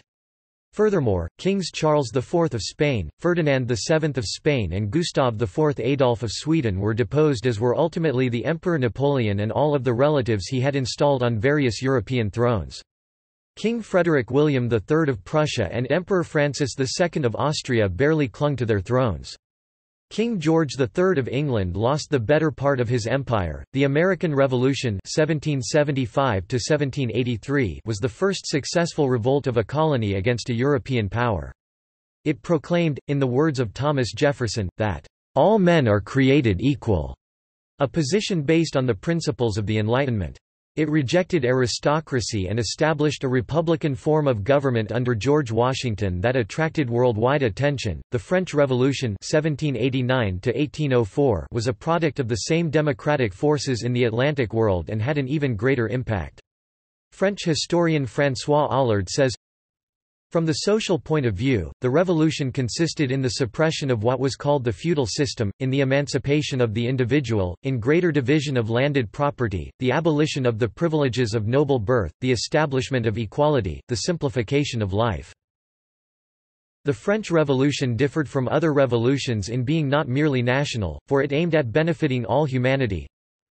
French intervention in the American Revolutionary War had nearly bankrupted the state. After repeated failed attempts at financial reform, King Louis XVI had to convene the Estates General, a representative body of the country made up of three estates, the clergy, the nobility, and the commoners. The Third Estate, joined by members of the other two, declared itself to be a national assembly and swore an oath not to dissolve until France had a constitution and created, in July, the National Constituent Assembly. At the same time the people of Paris revolted, famously storming the Bastille prison on 14 July 1789. At the time the Assembly wanted to create a constitutional monarchy, and over the following two years passed various laws including the Declaration of the Rights of Man and of the Citizen, the abolition of feudalism, and a fundamental change in the relationship between France and Rome. At first the king agreed with these changes and enjoyed reasonable popularity with the people. As anti-royalism increased along with threat of foreign invasion, the king tried to flee and join France's enemies. He was captured and on 12 January 1793, having been convicted of treason, he was guillotined. On 20 September 1792 the National Convention abolished the monarchy and declared France a republic. Due to the emergency of war, the National Convention created the Committee of Public Safety, controlled by Maximilien de Robespierre of the Jacobin Club, to act as the country's executive. Under Robespierre, the committee initiated the Reign of Terror, during which up to 40,000 people were executed in Paris, mainly nobles and those convicted by the Revolutionary Tribunal, often on the flimsiest of evidence. Internal tensions at Paris drove the committee towards increasing assertions of radicalism and increasing suspicions, fueling new terror. A few months into this phase, more and more prominent revolutionaries were being sent to the guillotine by Robespierre and his faction, for example Madame Roland and Georges Danton. Elsewhere in the country, counter-revolutionary insurrections were brutally suppressed. The regime was overthrown in the coup of 9 Thermidor, the 27th of July 1794, and Robespierre was executed. The regime which followed ended the terror and relaxed Robespierre's more extreme policies. Napoleon Napoleon Bonaparte was one of the world's most famous soldiers and statesmen, leading France to great victories over numerous European enemies. Despite modest origins he became emperor and restructured much of European diplomacy, politics and law, until he was forced to abdicate in 1814. His 100-day comeback in 1815 failed at the Battle of Waterloo, and he died in exile on a remote island, remembered as a great hero by many Frenchmen and as a great villain by British and other enemies. Napoleon, despite his youth, was France's most successful general in the Revolutionary Wars, having conquered large parts of Italy and forced the Austrians to sue for peace. In 1799 on 18 Brumaire the 9th of November he overthrew the feeble government, replacing it with the consulate, which he dominated. He gained popularity in France by restoring the church, keeping taxes low, centralizing power in Paris, and winning glory on the battlefield. In 1804 he crowned himself emperor. In 1805, Napoleon planned to invade Britain, but a renewed British alliance with Russia and Austria Third Coalition, forced him to turn his attention towards the continent, while at the same time the French fleet was demolished by the British at the Battle of Trafalgar, ending any plan to invade Britain. On 2 December 1805, Napoleon defeated a numerically superior Austro-Russian army at Austerlitz, forcing Austria's withdrawal from the coalition see Treaty of Pressburg and dissolving the Holy Roman Empire. In 1806, a fourth coalition was set up. On 14 October Napoleon defeated the Prussians at the Battle of Jena-Auerstedt, marched through Germany and defeated the Russians on 14 June 1807 at Friedland. The treaties of Tilsit divided Europe between France and Russia and created the Duchy of Warsaw. On 12 June 1812 Napoleon invaded Russia with a grande armée of nearly 700,000 troops. After the measured victories at Smolensk and Borodino Napoleon occupied Moscow, only to find it burned by the retreating Russian army. He was forced to withdraw. On the march back his army was harassed by Cossacks, and suffered disease and starvation. Only 20,000 of his men survived the campaign. By 1813 the tide had begun to turn from Napoleon. Having been defeated by a seven-nation army at the Battle of Leipzig in October 1813, he was forced to abdicate after the Six Days Campaign and the occupation of Paris. Under the Treaty of Fontainebleau he was exiled to the island of Elba.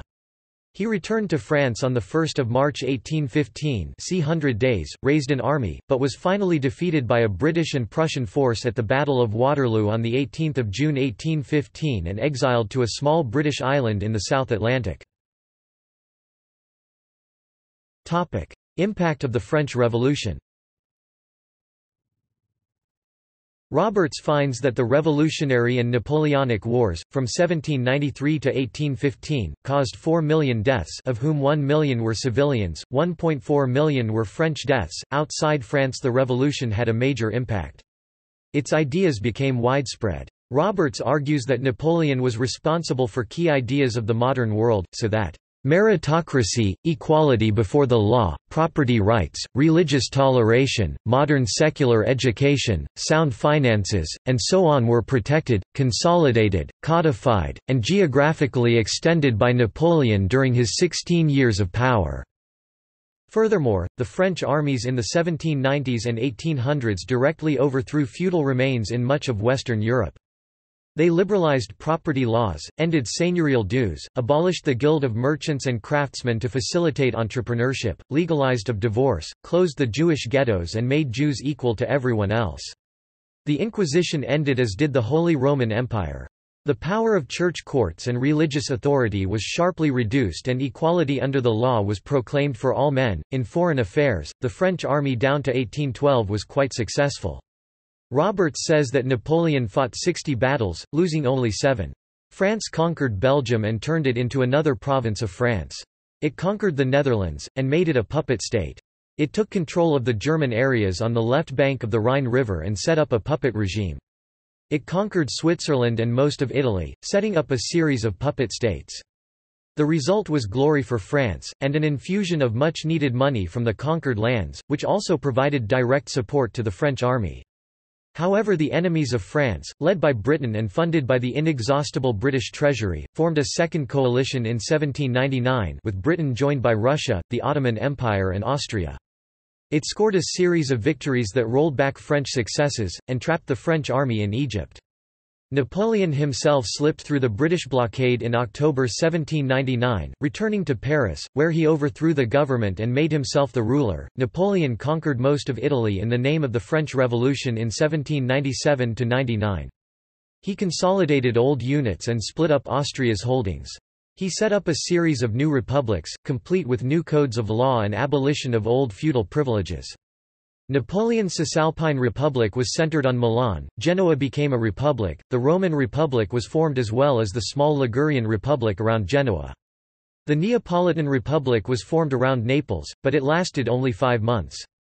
He later formed the Kingdom of Italy, with his brother as king. In addition, France turned the Netherlands into the Batavian Republic, and Switzerland into the Helvetic Republic. All these new countries were satellites of France, and had to pay large subsidies to Paris, as well as provide military support for Napoleon's wars. Their political and administrative systems were modernized, the metric system introduced, and trade barriers reduced. Jewish ghettos were abolished. Belgium and Piedmont became integral parts of France, most of the new nations were abolished and returned to pre-war owners in 1814. However, Artz emphasizes the benefits the Italians gained from the French Revolution, for nearly two decades the Italians had the excellent codes of law, a fair system of taxation, a better economic situation, and more religious and intellectual toleration than they had known for centuries.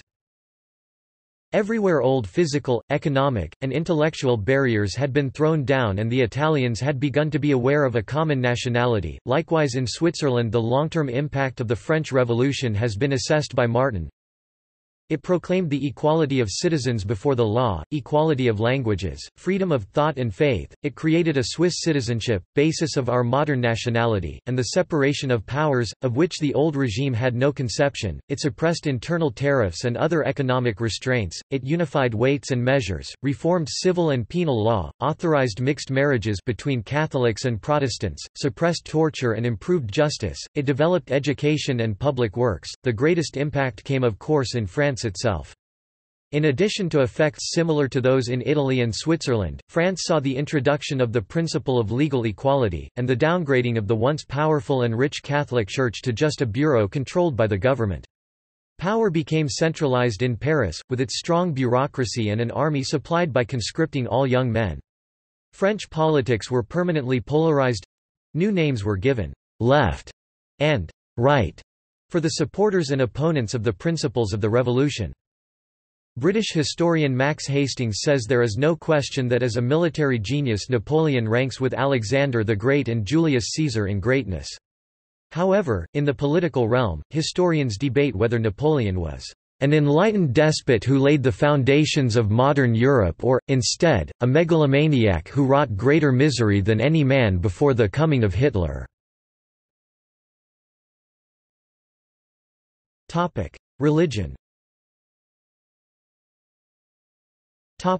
Protestantism Historian Kenneth Scott Latourette argues that the outlook for Protestantism at the start of the 19th century was discouraging. It was a regional religion based in northwestern Europe, with an outpost in the sparsely settled United States. It was closely allied with government, as in Scandinavia, the Netherlands, Prussia, and especially Great Britain. The alliance came at the expense of independence, as the government made the basic policy decisions, down to such details as the salaries of ministers and location of new churches. The dominant intellectual currents of the Enlightenment promoted rationalism, and most Protestant leaders preached a sort of deism. Intellectually, the new methods of historical and anthropological study undermine automatic acceptance of biblical stories, as did the sciences of geology and biology. Industrialization was a strongly negative factor, as workers who moved to the city seldom joined churches. The gap between the church and the unchurched grew rapidly, and secular forces, based both in socialism and liberalism undermined the prestige of religion. Despite the negative forces, Protestantism demonstrated a striking vitality by 1900. Shrugging off Enlightenment rationalism, Protestants embraced Romanticism, with the stress on the personal and the invisible. Entirely fresh ideas as expressed by Friedrich Schleiermacher, Soren Kierkegaard, Albrecht Ritschl and Adolf von Harnack restored the intellectual power of theology. There was more attention to historic creeds such as the Augsburg, the Heidelberg, and the Westminster Confessions. In England, Anglicans emphasized the historically Catholic components of their heritage, as the High Church element reintroduced vestments and incense into their rituals. The stirrings of Pietism on the continent, and evangelicalism in Britain expanded enormously, leading the devout away from an emphasis on formality and ritual and toward an inner sensibility toward personal relationship to Christ. Social activities, in education and in opposition to social vices such as slavery, alcoholism and poverty provided new opportunities for social service. Above all, worldwide missionary activity became a highly prized goal, proving quite successful in close cooperation with the imperialism of the British, German, and Dutch empires. Nations rising. Emerging nationalism The political development of nationalism and the push for popular sovereignty culminated with the ethnic, national revolutions of Europe. During the 19th century nationalism became one of the most significant political and social forces in history, it is typically listed among the top causes of World War I. Napoleon's conquests of the German and Italian states around 1800–1806 played a major role in stimulating nationalism and the demands for national unity. Germany in the German states east of Prussia Napoleon abolished many of the old or medieval relics, such as dissolving the Holy Roman Empire in 1806. He imposed rational legal systems and demonstrated how dramatic changes were possible. For example, his organization of the Confederation of the Rhine in 1806 promoted a feeling of nationalism. Nationalists sought to encompass masculinity in their quest for strength and unity. In the 1860s it was Prussian Chancellor Otto von Bismarck who achieved German unification in 1870 after the many smaller states followed Prussia's leadership in wars against Denmark, Austria and France. Italy Italian nationalism emerged in the 19th century and was the driving force for Italian unification or the Risorgimento, meaning the resurgence or revival. It was the political and intellectual movement that consolidated different states of the Italian peninsula into the single state of the Kingdom of Italy in 1860. The memory of the Risorgimento is central to both Italian nationalism and Italian historiography. Greece the Greek drive for independence from the Ottoman Empire inspired supporters across Christian Europe, especially in Britain. France, Russia and Britain intervened to make this nationalist dream become reality. Serbia For centuries the Orthodox Christian Serbs were ruled by the Muslim-controlled Ottoman Empire. The success of the Serbian Revolution against Ottoman rule in 1817 marked the foundation of modern Principality of Serbia. It achieved de facto independence in 1867 and finally gained recognition by the Great Powers in the Berlin Congress of 1878. The Serbs developed a larger vision for nationalism in pan-Slavism and with Russian support sought to pull the other Slavs out of the Austro-Hungarian Empire. Austria, with German backing, tried to crush Serbia in 1914 but Russia intervened, thus igniting the First World War in which Austria dissolved into nation-states. In 1918, the region of Vojvodina proclaimed its secession from Austria-Hungary to unite with the pan-Slavic state of Slovenes, Croats and Serbs. The Kingdom of Serbia joined the Union on 1 December 1918, and the country was named Kingdom of Serbs, Croats, and Slovenes. It was renamed Yugoslavia, which was never able to tame the multiple nationalities and religions and it flew apart in civil war in the 1990s. Bulgaria Bulgarian nationalism emerged under Ottoman rule in the late 18th and early 19th century, under the influence of Western ideas such as liberalism and nationalism, which trickled into the country after the French Revolution, mostly via Greece, although there were stirrings in the 18th century. Russia, as fellow Orthodox Slavs, could appeal to the Bulgarians in a way that Austria could not. An autonomous Bulgarian exarchate was established for the dioceses of Bulgaria as well as those, wherein at least two-thirds of Orthodox Christians were willing to join it. The April Uprising in 1876 indirectly resulted in the re-establishment of Bulgaria in 1878. Poland The cause of Polish nationalism was repeatedly frustrated before 1918.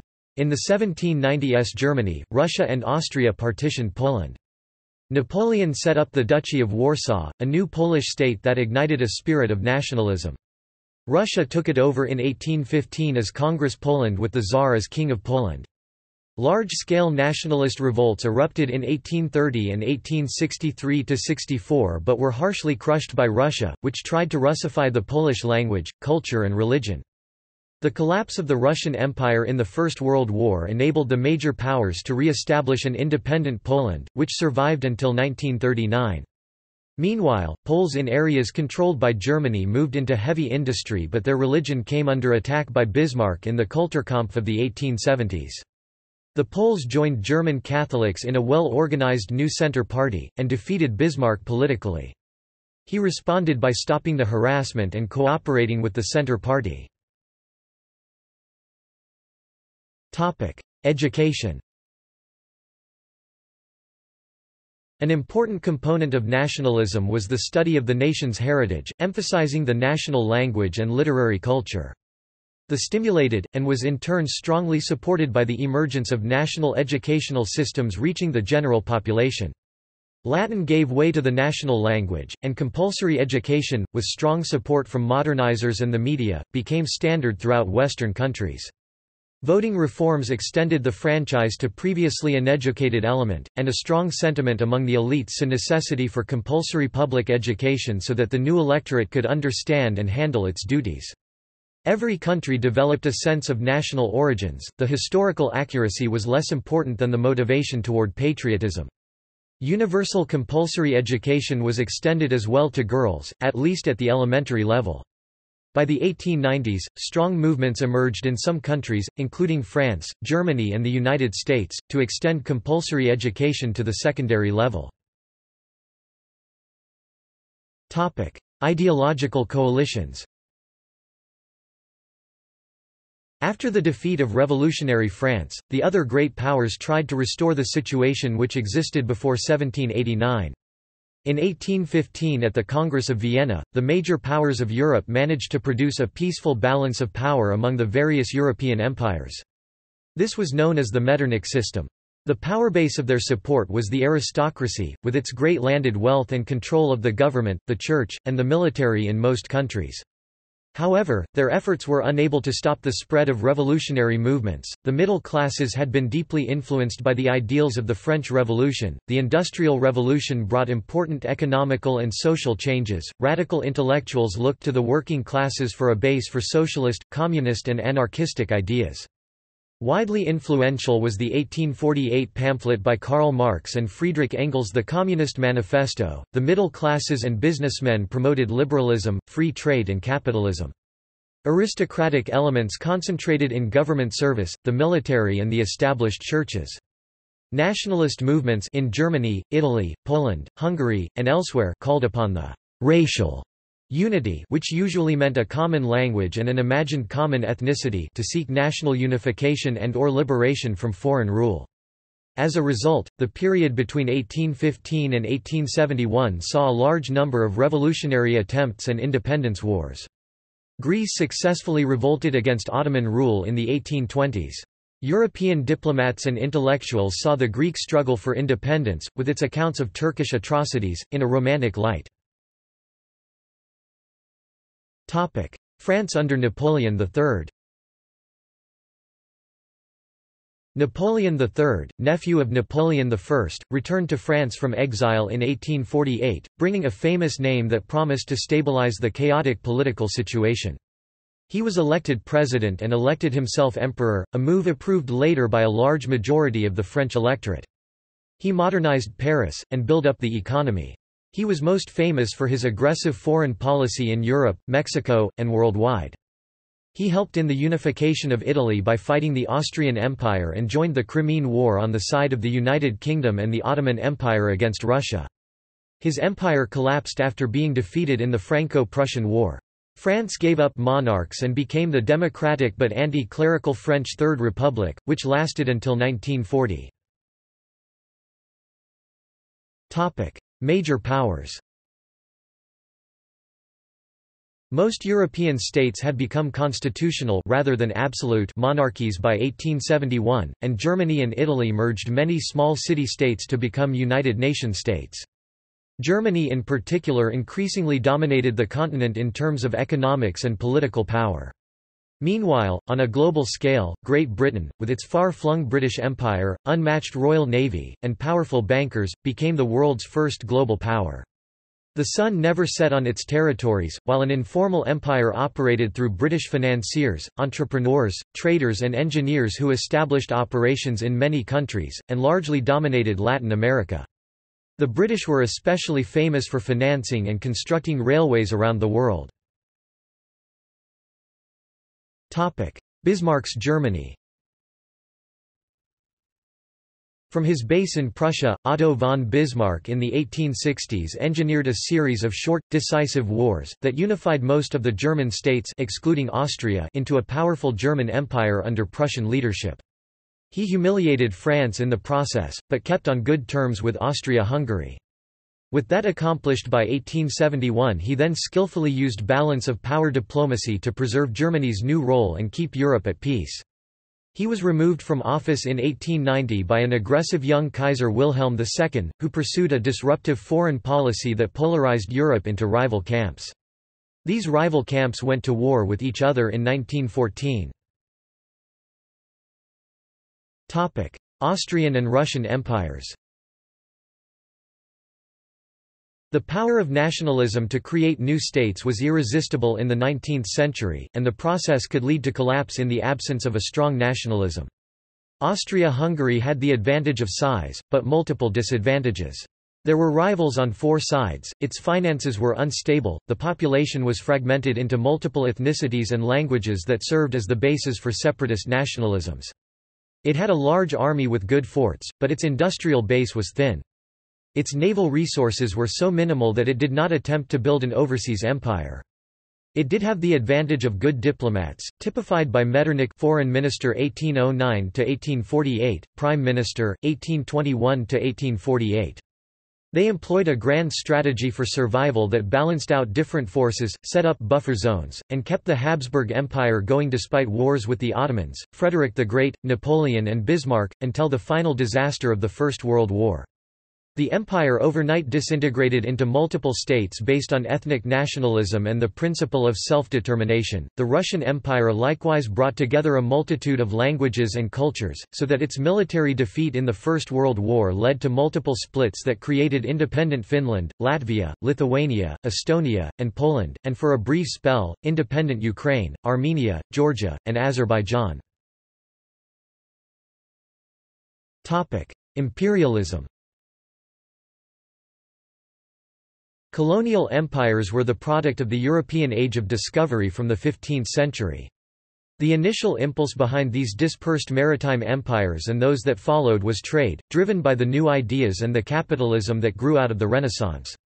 Both the Portuguese Empire and Spanish Empire quickly grew into the first global political and economic systems with territories spread around the world.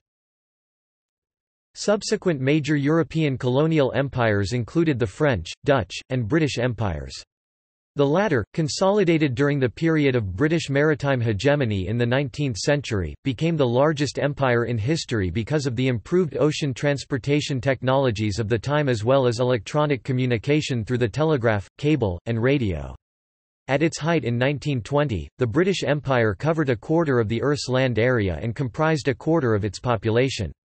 Other European countries, such as Belgium, Germany, and Italy, pursued colonial empires as well mostly in Africa, but they were smaller. Ignoring the oceans, Russia built its Russian Empire through conquest by land in Eastern Europe, and Asia. By the mid-19th century, the Ottoman Empire had declined enough to become a target for other global powers see History of the Balkans. This instigated the Crimean War in 1854 and began a tenser period of minor clashes among the globe-spanning empires of Europe that eventually set the stage for the First World War. In the second half of the 19th century, the Kingdom of Sardinia and the Kingdom of Prussia carried out a series of wars that resulted in the creation of Italy and Germany as nation-states, significantly changing the balance of power in Europe. From 1870, Otto von Bismarck engineered a German hegemony of Europe that put France in a critical situation. It slowly rebuilt its relationships, seeking alliances with Russia and Britain to control the growing power of Germany. In this way, two opposing sides, the Triple Alliance of 1882 Germany, Austria-Hungary and Italy and the Triple Entente of 1907 Britain, France and Russia formed in Europe, improving their military forces and alliances year by year. 1914–1945, Two World Wars German-American historian Konrad Jarausch, asked if he agreed that, "...the European record of the past century was just one gigantic catastrophe." Argues, it is true that the first half of the 20th century was full of internecine warfare, economic depression, ethnic cleansing and racist genocide that killed tens of millions of people, more than any other period in human history. But looking only at the disasters creates an incomplete perception, because the second half of the century witnessed a much more positive development in spite of the Cold War. After the defeat of fascism in 1945, the peaceful revolution of 1989–90 also liberated the East from communist control in a quite unexpected fashion. As a result, Europeans generally live more free, prosperous and healthy lives than ever before. The short 20th century from 1914 to 1991, included the First World War, the Second World War and the Cold War. The First World War used modern technology to kill millions of soldiers. Victory by Britain, France, the United States and other allies drastically changed the map of Europe, ending four major land empires the Russian, German, Austro-Hungarian and Ottoman empires and leading to the creation of nation-states across Central and Eastern Europe. The October Revolution in Russia led to the creation of the Soviet Union 1917 and the rise of the international communist movement. Widespread economic prosperity was typical of the period before 1914, and 1920–1929. After the onset of the Great Depression in 1929, however, democracy collapsed in most of Europe. Fascists took control in Italy, and the even more aggressive Nazi movement led by Adolf Hitler took control of Germany, 1933–45. The Second World War was fought on an even larger scale than the First War, killing many more people, and using even more advanced technology. It ended with the division of Europe between East and West, with the East under the control of the Soviet Union and the West dominated by NATO. The two sides engaged in the Cold War, with actual conflict taking place not in Europe but in Asia in the Korean War and the Vietnam War. The imperial system collapsed. The remaining colonial empires ended through the decolonization of European rule in Africa and Asia. The fall of Soviet communism 1989 left the West dominant and enabled the reunification of Germany. It accelerated the process of a European integration to include Eastern Europe. The European Union continues today, but with German economic dominance. Since the worldwide Great Recession of 2008, European growth has been slow, and financial crises have hit Greece and other countries. Social divisiveness has been caused by large-scale immigration and radical Islamic rejection of European norms. While Russia is a weak version of the old Soviet Union, it has been confronting Europe in Ukraine and other areas. World War I After the relative peace of most of the 19th century, the rivalry between European powers, compounded by a rising nationalism among ethnic groups, exploded in August 1914, when the First World War started. Over 65 million European soldiers were mobilized from 1914 to 1918, 20 million soldiers and civilians died, and 21 million were seriously wounded. On one side were Germany, Austria-Hungary, the Ottoman Empire and Bulgaria the Central Powers, Triple Alliance, while on the other side stood Serbia and the Triple Entente, the coalition of France, Britain and Russia, which were joined by Italy in 1915, Romania in 1916 and by the United States in 1917. The Western Front involved especially brutal combat without any territorial gains by either side. Single battles like Verdun and the Somme killed hundreds of thousands of men while leaving the stalemate unchanged. Heavy artillery and machine guns caused most of the casualties, supplemented by poison gas. Tsarist Russia collapsed in the February Revolution of 1917 and Germany claimed victory on the Eastern Front. After eight months of liberal rule, the October Revolution brought Vladimir Lenin and the Bolsheviks to power, leading to the creation of the Soviet Union in place of the disintegrated Russian Empire. With American entry into the war in 1917 on the Allied side, and the failure of Germany's spring 1918 offensive, Germany had run out of manpower, while an average of 10,000 American troops were arriving in France every day in the summer of 1918. Germany's allies, Austria-Hungary and the Ottoman Empire, surrendered and dissolved, followed by Germany on the 11th of November 1918. The victors forced Germany to assume responsibility for the conflict and pay war reparations. One factor in determining the outcome of the war was that the Allies had significantly more economic resources they could spend on the war. One estimate using 1913 US dollars is that the Allies spent $58 billion on the war and the Central Powers only $25 billion. Among the Allies, Britain spent $21 billion and the US $17 billion, among the Central Powers Germany spent $20 billion. Paris Peace Conference The World War was settled by the victors at the Paris Peace Conference in 1919. Two dozen nations sent delegations, and there were many non-governmental groups, but the defeated powers were not invited. The Big Four were President Woodrow Wilson of the United States, Prime Minister David Lloyd George of Great Britain, Georges Clemenceau of France, and, of least importance, Italian Prime Minister Vittorio Orlando.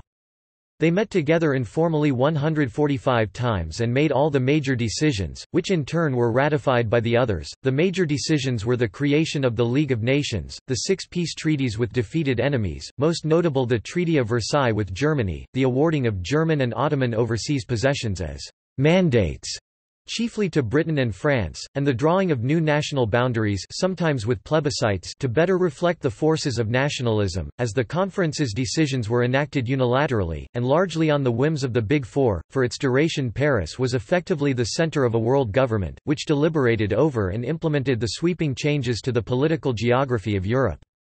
Most famously, the Treaty of Versailles itself weakened Germany's military power and placed full blame for the war and costly reparations on its shoulders. The humiliation and resentment in Germany is sometimes considered as one of the causes of Nazi success and indirectly a cause of World War II. At the insistence of President Wilson, the Big Four required Poland to sign a treaty on 28 June 1919 that guaranteed minority rights in the new nation. Poland signed under protest, and made little effort to enforce the specified rights for Germans, Jews, Ukrainians, and other minorities. Similar treaties were signed by Czechoslovakia, Romania, Yugoslavia, Greece, Austria, Hungary, Bulgaria, and later by Latvia, Estonia and Lithuania. Finland and Germany were not asked to sign a minority rights treaty. Interwar In the Treaty of Versailles 1919, the winners imposed relatively hard conditions on Germany and recognized the new states such as Poland, Czechoslovakia, Hungary, Austria, Yugoslavia, Finland, Estonia, Latvia, Lithuania created in Central Europe from the defunct German, Austro-Hungarian and Russian empires, based on national ethnic self-determination. It was a peaceful era with a few small wars before 1922 such as the Ukrainian-Soviet War 1917 and the Polish-Soviet War 1919 Prosperity was widespread, and the major cities sponsored a youth culture called the «Roaring Twenties» that was often featured in the cinema, which attracted very large audiences. The Allied victory in the First World War seemed to mark the triumph of liberalism, not just in the Allied countries themselves, but also in Germany and in the new states of Eastern Europe, as well as Japan. Authoritarian militarism as typified by Germany had been defeated and discredited. Historian Martin Blinkhorn argues that the liberal themes were ascendant in terms of Cultural pluralism, religious and ethnic toleration, national self-determination, free market economics, representative and responsible government, free trade, unionism, and the peaceful settlement of international disputes through a new body, the League of Nations. However, as early as 1917, the emerging liberal order was being challenged by the new communist movement taking inspiration from the Russian Revolution. Communist revolts were beaten back everywhere else, but they did succeed in Russia. Fascism and authoritarianism Italy adopted an authoritarian system known as fascism in 1922, it became a model for Hitler in Germany and for right-wing elements in other countries. Historian Stanley G. Payne says fascism in Italy was a primarily political dictatorship, the fascist party itself had become almost completely bureaucratized and subservient to, not dominant over, the state itself. Big business, industry, and finance retained extensive autonomy, particularly in the early years. The armed forces also enjoyed considerable autonomy. The fascist militia was placed under military control. The judicial system was left largely intact and relatively autonomous as well. The police continued to be directed by state officials and were not taken over by party leaders. Nor was a major new police elite created. There was never any question of bringing the church under overall subservience. Sizable sectors of Italian cultural life retained extensive autonomy, and no major state propaganda and culture ministry existed. The Mussolini regime was neither especially sanguinary nor particularly repressive. Authoritarian regimes were established in the 1930s in Germany, Portugal, Austria, Poland, Greece, the Baltic countries, and Spain. By 1940, there were only four liberal democracies left on the European continent, France, Finland, Switzerland and Sweden. Great Depression, 1929–1939 After the Wall Street crash of 1929, nearly the whole world sank into a Great Depression, as prices fell, profits fell, and unemployment soared. The worst hit sectors included heavy industry, export-oriented agriculture, mining and lumbering, and construction. World trade fell by two-thirds, liberalism and democracy were discredited. In most of Europe, as well as in Japan and most of Latin America, nation after nation turned to dictators and authoritarian regimes.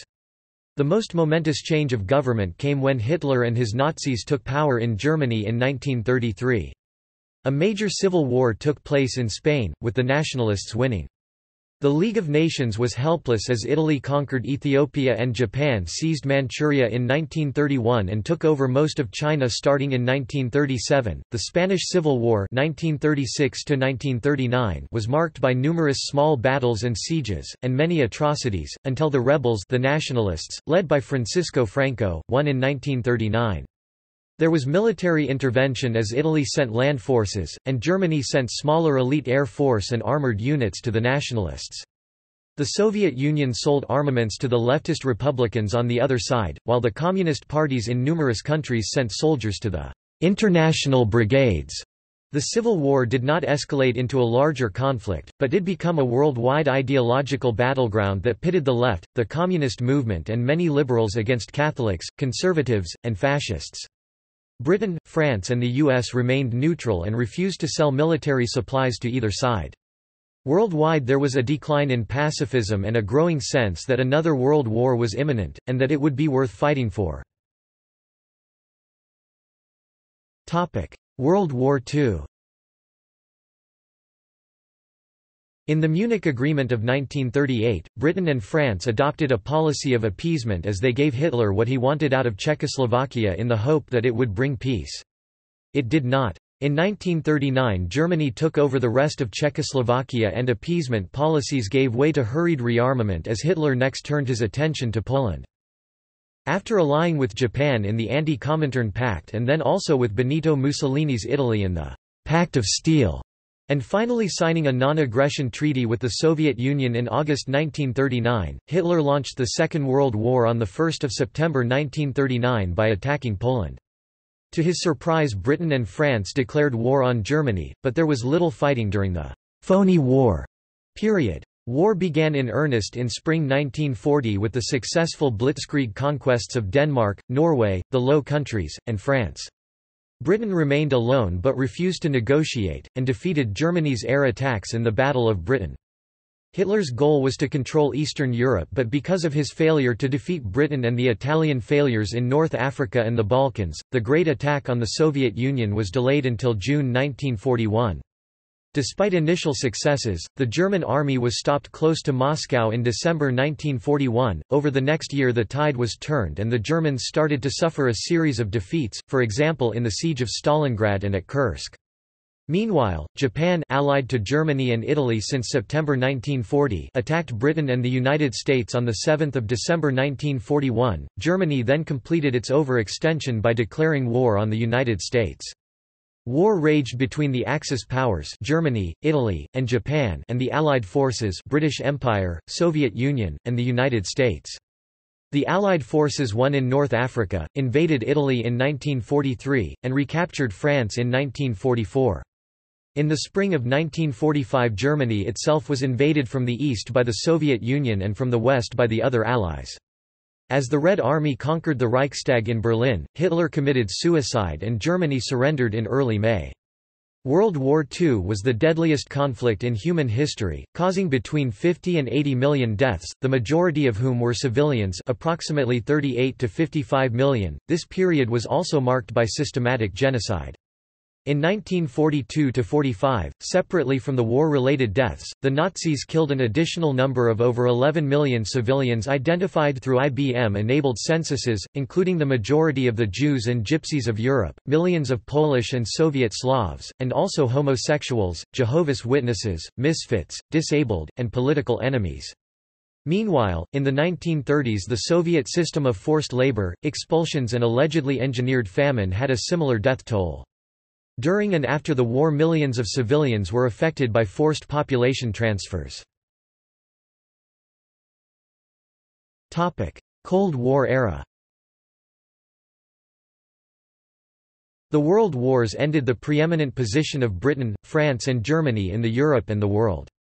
At the Yalta Conference, Europe was divided into spheres of influence between the victors of World War II, and soon became the principal zone of contention in the Cold War between the two power blocs, the Western countries and the Communist bloc. The United States and the majority of European liberal democracies at the time United Kingdom, France, Italy, Netherlands, West Germany etc. established the NATO military alliance. Later, the Soviet Union and its satellites Bulgaria, Czechoslovakia, East Germany, Hungary, Poland, and Romania in 1955 established the Warsaw Pact as a counterpoint to NATO. The Warsaw Pact had a much larger ground force, but the American-French-British nuclear umbrellas protected NATO. Communist states were imposed by the Red Army in the East, while parliamentary democracy became the dominant form of government in the West. Most historians point to its success as the product of exhaustion with war and dictatorship, and the promise of continued economic prosperity. Martin Conway also adds that an important impetus came from the anti-Nazi wartime political coalitions. Economic recovery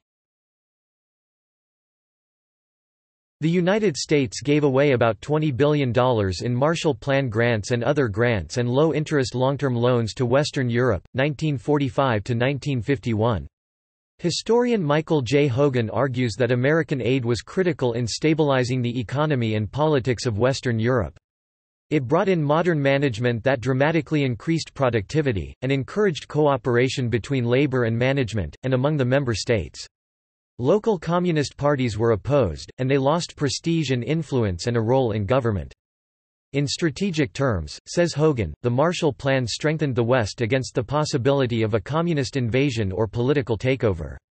However, the Marshall Plan's role in the rapid recovery has been debated. Most reject the idea that it only miraculously revived Europe, since the evidence shows that a general recovery was already underway thanks to other aid programs from the United States. Economic historians Bradford de Long and Barry Eichengreen conclude it was history's most successful structural adjustment program. They state, it was not large enough to have significantly accelerated recovery by financing investment, aiding the reconstruction of damaged infrastructure, or easing commodity bottlenecks. We argue, however, that the Marshall Plan did play a major role in setting the stage for post-World War II Western Europe's rapid growth. The conditions attached to Marshall Plan aid pushed European political economy in a direction that left its post-World War II mixed economies, with more market and less controls. In the mix, the Soviet Union concentrated on its own recovery. It seized and transferred most of Germany's industrial plants and it exacted war reparations from East Germany, Hungary, Romania, and Bulgaria, using Soviet-dominated joint enterprises. It used trading arrangements deliberately designed to favor the Soviet Union. Moscow controlled the communist parties that ruled the satellite states, and they followed orders from the Kremlin. Historian Mark Kramer concludes, the net outflow of resources from Eastern Europe to the Soviet Union was approximately $15 billion to $20 billion in the first decade after World War II, an amount roughly equal to the total aid provided by the United States to Western Europe under the Marshall Plan. Western Europe began economic and then political integration, with the aim to unite the region and defend it. This process included organizations such as the European Coal and Steel Community, which grew and evolved into the European Union, and the Council of Europe. The Solidarnosc movement in the 1980s weakened the communist government in Poland. At the time the Soviet leader Mikhail Gorbachev initiated perestroika and glasnost, which weakened Soviet influence in Europe, particularly in the USSR. In 1989 the Berlin Wall came down and communist governments outside the Soviet Union were deposed. In 1990 the Federal Republic of Germany absorbed East Germany, after making large cash payments to the USSR. In 1991 the Communist Party in Moscow collapsed, ending the USSR, which split into 15 independent states. The largest, Russia, took the Soviet Union's seat on the United Nations Security Council. The most violent dissolution happened in Yugoslavia, in the Balkans. 4 Slovenia, Croatia, Bosnia and Herzegovina and Macedonia out of six Yugoslav republics declared independence and for most of them a violent war ensued, in some parts lasting until 1995. In 2006 Montenegro seceded and became an independent state. In the post-Cold War era, NATO and the EU have been gradually admitting most of the former members of the Warsaw Pact. Looking at the half-century after the war historian Walter Laqueur concluded, the post-war generations of European elites aimed to create more democratic societies. They wanted to reduce the extremes of wealth and poverty and provide essential social services in a way that pre-war generations had not. They had had quite enough of unrest and conflict. For decades many continental societies had more or less achieved these aims and had every reason to be proud of their progress. Europe was quiet and civilized. Europe's success was based on recent painful experience, the horrors of two world wars, the lessons of dictatorship, the experiences of fascism and communism. Above all, it was based on a feeling of European identity and common values—or so it appeared at the time. The post-war period also witnessed a significant rise in the standard of living of the Western European working class. As noted by one historical text, Within a single generation, the working classes of Western Europe came to enjoy the multiple pleasures of the consumer society. Western Europe's industrial nations in the 1970s were hit by a global economic crisis. They had obsolescent heavy industry, and suddenly had to pay very high energy prices which caused sharp inflation. Some of them also had inefficient nationalized railways and heavy industries. In the important field of computer technology, European nations lagged behind the United States. They also faced high government deficits and growing unrest led by militant labor unions. There was an urgent need for new economic directions. Germany and Sweden sought to create a social consensus behind a gradual restructuring. Germany's efforts proved highly successful. In Britain under the leadership of Margaret Thatcher, the solution was shock therapy, high interest rates, austerity, and selling off inefficient corporations as well as the public housing, which was sold off to the tenants. One result was escalating social tensions in Britain, led by the militant coal miners. Thatcher eventually defeated her opponents and radically changed the British economy, but the controversy never went away as shown by the hostile demonstrations at the time of her death in 2013. Recent history Following the end of the Cold War, the European Economic Community pushed for closer integration, cooperation in foreign and home affairs, and started to increase its membership into the neutral and former communist countries. In 1993, the Maastricht Treaty established the European Union, succeeding the EEC and furthering political cooperation. The neutral countries of Austria, Finland and Sweden acceded to the EU, and those that didn't join were tied into the EU's economic market via the European Economic Area. These countries also entered the Schengen Agreement which lifted border controls between member states. The Maastricht Treaty created a single currency for most EU members. The euro was created in 1999 and replaced all previous currencies in participating states in 2002.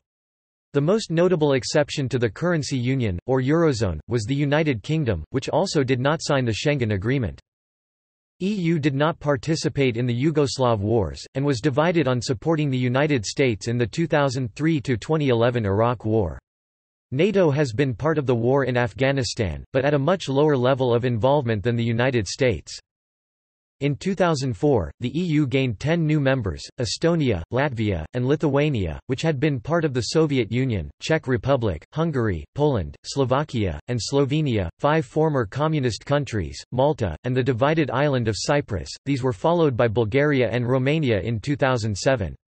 Russia's regime had interpreted these expansions as violations against NATO's promise to not expand one inch to the east in 1990. Russia engaged in a number of bilateral disputes about gas supplies with Belarus and Ukraine which endangered gas supplies to Europe.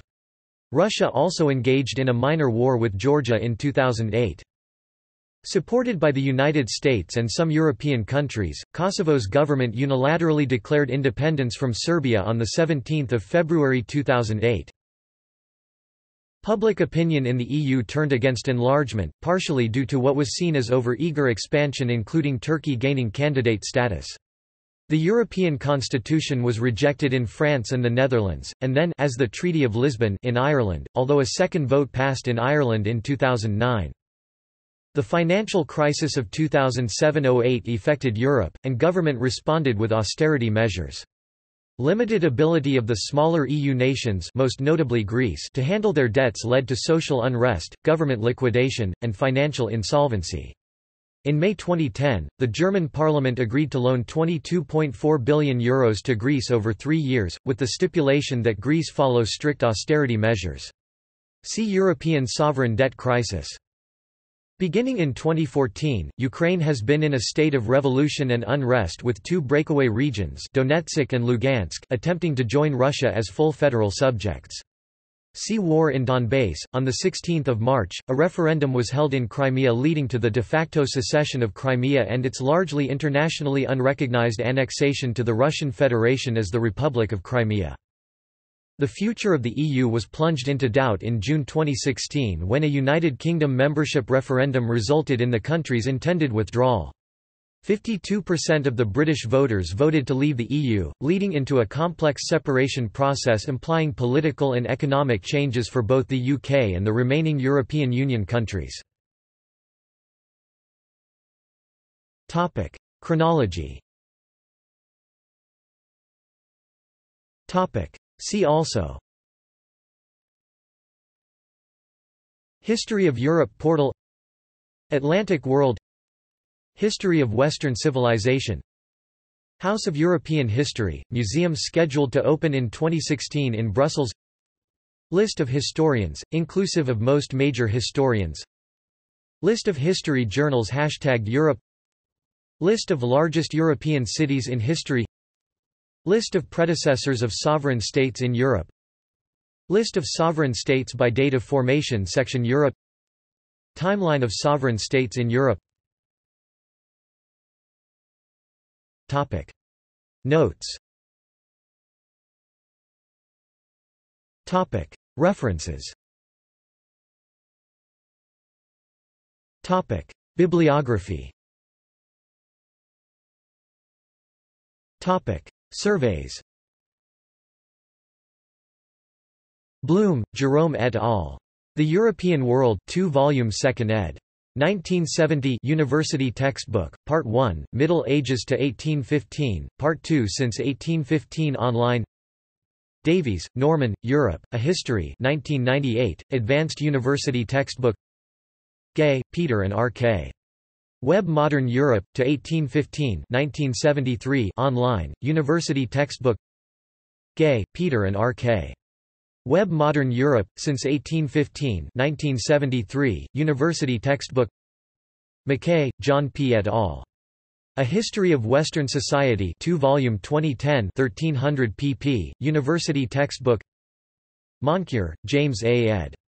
Research Guide to European Historical Biography, 1450-present 4 volume 1992, 2140 pp. Historiographical Guide to 200 Major Political and Military Leaders Roberts, J. M. The History of Europe 1997, Survey Simms, Brendan. Europe, The Struggle for Supremacy, From 1453 to the Present 2013, Survey Topic. Geography and atlases Catchpole, Brian. Map History of the Modern World 1982. Darby, H. C., and H. Fullard, eds. The New Cambridge Modern History, Volume 14, Atlas 1970.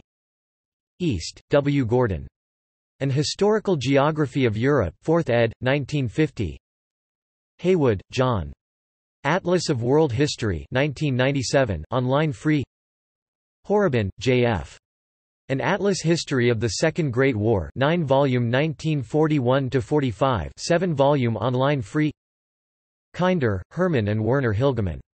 Anchor Atlas of World History 2 volume 1978, Advanced Analytical Maps, mostly of Europe Pounds, Norman J. G. and Historical Geography of Europe 1990 Talbert, Richard J. A. Barrington Atlas of the Greek and Roman World for iPad Princeton UP 2014 ISBN 9781400848768, 102 Interactive color maps from archaic Greece to the late Roman Empire. Historical Atlas Wikipedia Maps, not copyright Atlas of Germany Wikipedia Maps, not copyright Topic. Major nations Black, Jeremy. A History of the British Isles 1996. Carr, Raymond, ed. Spain, A History 2000. Clark, Christopher M. Iron Kingdom, The Rise and Downfall of Prussia, 1600–1947 2006. Davies, Norman. The Isles, A History 2001, Britain and Ireland Duggan, Christopher. A Concise History of Italy 2013. Fraser, Rebecca. The Story of Britain, From the Romans to the Present, A Narrative History 2006. Holborn, Hajo, Volume 1, A History of Modern Germany, The Reformation, Volume 2, A History of Modern Germany, 1648–1840, Volume 3, A History of Modern Germany, 1840–1945 1959, A Standard Scholarly Survey. Kamen, Henry. A Concise History of Spain 1973. Halle, Knut, ed. The Cambridge History of Scandinavia Volume 1. 2003. Holmes, George, ed. The Oxford Illustrated History of Medieval Europe 2001. Holmes, George, ed. The Oxford Illustrated History of Italy 1997. Jones, Colin. The Cambridge Illustrated History of France 1999. Kitchen, Martin The Cambridge Illustrated History of Germany 1996. Morgan, Kenneth O., ed. The Oxford Illustrated History of Britain 1984. Price, Roger. A Concise History of France 2014. Riasanovsky, Nicholas V, and Mark D. Steinberg. A History of Russia 2 volume 2010. Sagarra, Eda. A Social History of Germany 2003. Tombs, Robert, The English and Their History 2014 Advanced History, online review Wilson, Peter H. Heart of Europe, A History of the Holy Roman Empire 2016-942 pp. Classical Boardman, John, et al., eds. The Oxford History of Greece and the Hellenistic World 2nd ed. 2002, 520 pp.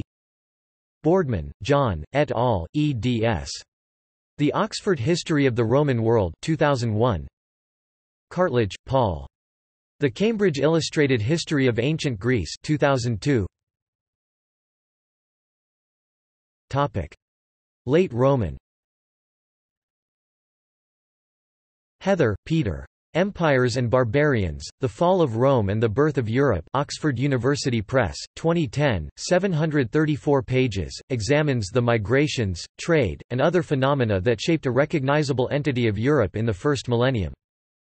Jones, A. H. M. The Later Roman Empire, 284–602, A Social, Economic, and Administrative Survey 2 volume 1964 Mitchell, Stephen. A History of the Later Roman Empire, AD 284–641, The Transformation of the Ancient World 2006. Medieval Davis, RHCA History of Medieval Europe 2nd ed. 2000 Ferguson, Wallace K. Europe in Transition, 1300–1520 1962 online Hanawalt, Barbara. The Middle Ages, An Illustrated History 1999. Holmes, George, ed. The Oxford Illustrated History of Medieval Europe 2001.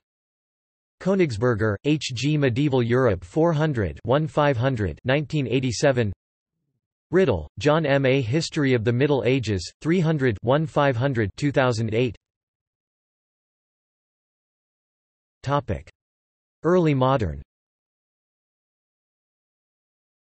Blanning, TCW The Culture of Power and the Power of Culture, Old Regime Europe 1660–1789 2003. Cameron, Ewan. Early Modern Europe, An Oxford History 2001. Friedrich, Carl J. The Age of the Baroque, 1610–1660 1962. Despite the title, this is a wide-ranging social, cultural, political and diplomatic history of Europe, 14-day borrowing copy Hesmyr, Atle. Scandinavia in the Early Modern Era, From Peasant Revolts and Witch Hunts to Constitution Drafting Yeoman 2014. McKay, Derek, and Hamish M. Scott. The Rise of the Great Powers 1648–1815 3rd ed. 2014. Rice, Eugene F. The Foundations of Early Modern Europe, 1460–1559 2nd ed. 1994, 240 pp. Merriman, John. A History of Modern Europe, From the Renaissance to the Present 3rd ed., 2009, 2 volume, 1412 pp. Scott, Hamish, ed. The Oxford Handbook of Early Modern European History, 1350–1750, Volume 1, Peoples and Place 2015. Scott, Hamish, ed. The Oxford Handbook of Early Modern European History, 1350–1750, Volume 2, Cultures and Power 2015. Stoye, John. Europe Unfolding, 1648–1688 2nd ed. 2000. Treasure, Geoffrey. The Making of Modern Europe, 1648–1780 3rd ed. 2003, Overview of each major country and inter-relations Wiesner, Mary E. Early Modern Europe, 1450–1789 Cambridge History of Europe 2006 Topic. 19th century Anderson, M.S. The Ascendancy of Europe, 1815–1914 3rd ed. 2003 Blanning, T.C.W. ed. The Nineteenth Century, Europe 1789–1914 Short Oxford History of Europe 2003 20 pp. Bruun, Geoffrey. Europe and the French Imperium, 1799–1814 1938 online. Cameron, Rondo. France and the Economic Development of Europe, 1800–1914, Conquests of Peace and Seeds of War 1961, a wide-ranging economic and business history. Evans, Richard J. The Pursuit of Power, Europe 1815–1914 2016, 934 pp. Gildea, Robert. Barricades and Borders, Europe 1800–1914 Short Oxford History of the Modern World 3rd ed. 2003 544 pp. Online 2nd ed., 1996 Grab, Alexander. Napoleon and the Transformation of Europe 2003 Kertesz, G. A. ed. Documents in the Political History of the European Continent 1815–1939 1968, 507 pp., several hundred short documents Mason, David S. A Concise History of Modern Europe, Liberty, Equality, Solidarity 2011, since 1700 Merriman, John, and J. M. Winter, eds. Europe 1789–1914, Encyclopedia of the Age of Industry and Empire 5 volume 2006 Steinberg, Jonathan. Bismarck, A Life 2011. Salmi, Hannu, 19th-Century Europe, A Cultural History 2008. Taylor, A. J. P. The Struggle for Mastery in Europe 1848–1918 1954 online free, Advanced Diplomatic History Thomson, David, Europe since Napoleon 1923 online free 524 pp Topic. Since 1900 Brose, Eric Dorn. A History of Europe in the Twentieth Century 2004 548 pp Buchanan, Tom. Europe's Troubled Peace, 1945 to the Present Blackwell History of Europe 2012 Cook, Bernard A. Europe since 1945, an encyclopedia 2 volume, 2001, 1465 pp. Davies, Norman, Europe at War 1939–1945, No Simple Victory 2008. Dear, ICB and M. R. D. Foot, eds. The Oxford Companion to World War II 2006. Frank, Matthew. Making Minorities History, Population Transfer in Twentieth-Century Europe Oxford UP, 2017.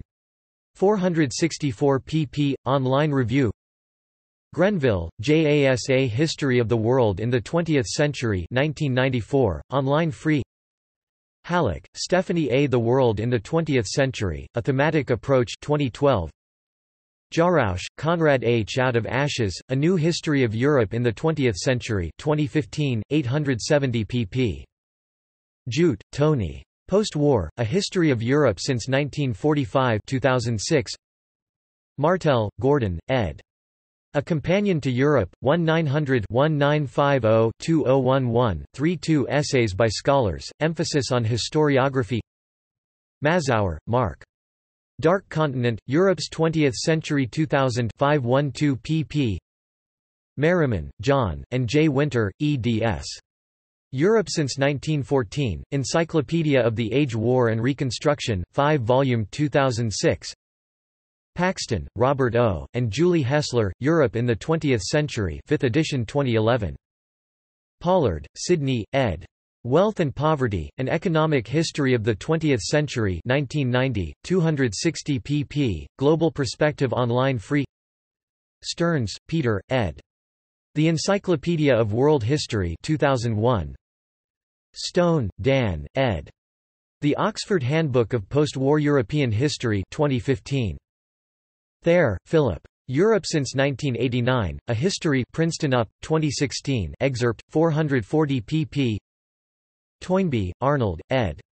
Survey of International Affairs, Hitler's Europe 1939–1946 online Weinberg, Gerhard L. A World at Arms, A Global History of World War II 2005. Agriculture and economy Bakels, C. C. The Western European Loess Belt, Agrarian History, 5300 BC, AD 1000 2009. Berend, Ivan T. An Economic History of Twentieth-Century Europe 2013. Berend, Ivan T. Europe since 1980 2010, Focus on Economic History Broadberry, Stephen, and Kevin H. O'Rourke, eds. The Cambridge Economic History of Modern Europe 2 volume 2010, 1700 to present Dovring, Folke, ed. Land and Labour in Europe in the Twentieth Century, A Comparative Survey of Recent Agrarian History. 1965. 511 pp. Graw, Norman. A History of Agriculture in Europe and America 1925, free online edition Milward, Alan S. and S. B. Saul. The Development of the Economies of Continental Europe, 1850–1914 1977. Murray, Jacqueline. The First European Agriculture 1970. Pollard, Sidney, ed. Wealth and Poverty, An Economic History of the Twentieth Century 1990, 260 pp. Global Perspective Online Free Pounds, NJG An Economic History of Medieval Europe 1994. Slicher van Bath, B. H. The Agrarian History of Western Europe, AD 500 1850 1966. Thorpe, William Long. Business Annals, United States, England, France, Germany, Austria, Russia, Sweden, Netherlands, Italy, Argentina, Brazil, Canada, South Africa, Australia, India, Japan, China 1926 capsule summary of conditions in each country for each quarter year 1790 to 1925 Topic. Diplomacy Albrecht Carré, René. A Diplomatic History of Europe since the Congress of Vienna 1958, 736 pp. Basic Introduction 1815–1955 Black, Jeremy. A History of Diplomacy 2011. Black, Jeremy, European International Relations, 1648–1815 2002. Kertesz, G. A. ed. Documents in the Political History of the European Continent 1815–1939 1968, 507 pp., several hundred short documents Langer, William. An Encyclopedia of World History 5th ed., 1973, very detailed outline Macmillan, Margaret. The War That Ended Peace, The Road to 1914 2013 cover 1890s to 1914 Mowat, R. B. History of European Diplomacy, 1451-1789-1928 324 pages online Petrie, Charles. Earlier Diplomatic History, 1492–1713 1949, covers all of Europe, online Petrie, Charles. Diplomatic History, 1713–1933 1946, broad summary online free also online in Questia Schroeder, Paul.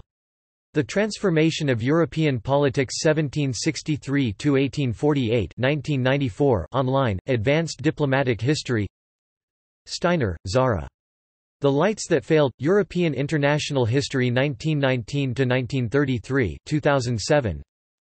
Steiner, Zara. The Triumph of the Dark, European International History 1933–1939 2011. Taylor, A. J. P. The Struggle for Mastery in Europe, 1848–1918 1954. Empires and interactions Bayly, C. A. ed. Atlas of the British Empire 1989, survey by scholars, heavily illustrated Brendon, Piers. The Decline and Fall of the British Empire, 1781–1997 2008, wide-ranging survey Darwin, John. After Tamerlane, The Rise and Fall of Global Empires, 1400–2000 2008. James, Lawrence. The Rise and Fall of the British Empire 1997. Tolan, John et al., eds. Europe and the Islamic World, A History 2013 online Topic. Ideas and Science Heilbron, John L., ed. The Oxford Companion to the History of Modern Science 2003. Outhwaite, William. The Blackwell Dictionary of Modern Social Thought 2003. Wiener, Philip P. Dictionary of the History of Ideas 5 volume 1973. Topic. Religion Latourette, Kenneth Scott, Christianity in a Revolutionary Age, A History of Christianity in the Nineteenth and Twentieth Centuries 1958 Volume 1, 2, and 4 for detailed country-by-country -country coverage MacCulloch, Diarmaid. Christianity, The First Three Thousand Years 2011. Topic. Social Stearns, Peter N., ed. Encyclopedia of European Social History 6 volume 2000, 3000 pp. Tipton, F. and R. Aldrich. An Economic and Social History of Europe, 1890–1939 1987, An Economic and Social History of Europe, 1939 to the present 1987. Warfare Archer, Christon I., John R. Ferris, Holger H. Herwig. World History of Warfare 2002. The Cambridge History of the First World War 3 volume 2014 online. The Cambridge History of the Second World War 3 volume 2015 online. Dear, ICB, Foot, MRD, eds. 2001 1995. The Oxford Companion to World War II. Oxford, Oxford University Press. ISBN 978-0-19-860446-4. Dupuy, R. Ernest, The Harper Encyclopedia of Military History, From 3500 BC to the Present 1993. Goldsworthy, Adrian, and John Keegan. Roman Warfare 2000. Horne, John, ed. A Companion to World War I 2012. Keegan, John. A History of Warfare 1994. Kennedy, Paul. The Rise and Fall of the Great Powers 1989. Paret, Peter, ed. Makers of Modern Strategy 1986, Ideas of Warfare Rapport, Mike. The Napoleonic Wars, A Very Short Introduction 2013. Sheehan, James J. Where Have All the Soldiers Gone? The Transformation of Modern Europe 2008. Weinberg, Gerhard L. 2005. A World at Arms, A Global History of World War II 2nd ed., comprehensive overview with emphasis on diplomacy Zeiler, Thomas W. and Daniel M. Dubois, eds. A Companion to World War II 2 volume 2013, 1030 pp. Comprehensive overview by scholars Topic. Women and gender Anderson, Bonnie S. and Judith P. Zinsser. A History of Their Own, Women in Europe from Prehistory to the Present 2nd ed. 2000 Bridenthal, Renata, et al., eds. Becoming Visible, Women in European History 3rd ed. 1997, 608 pp. Essays by scholars Frey, Linda, Marcia Frey, Joanne Schneider. Women in Western European History, A Select Chronological, Geographical, and Topical Bibliography 1982 online Hufton, Olwen. The Prospect Before Her, A History of Women in Western Europe, 1500–1800 1996 Herzog, Dagmar. Sexuality in Europe, A Twentieth-Century History 2011. Offen, Karen. Surveying European Women's History Since the Millennium, A Comparative Review. Journal of Women's History Volume 22 No. 1, Spring 2010 doi, 10.1353, jo.0.13 External links Media related to old maps of Europe at Wikimedia Commons Media related to Atlas of European History at Wikimedia Commons EurHistXX, the network for the contemporary history of Europe, edited in English from Berlin Contains information on historical trends in living standards in various European countries European History Primary Sources Online Access to primary sources for historians New York Public Library History of Europe. Research Guides. USA.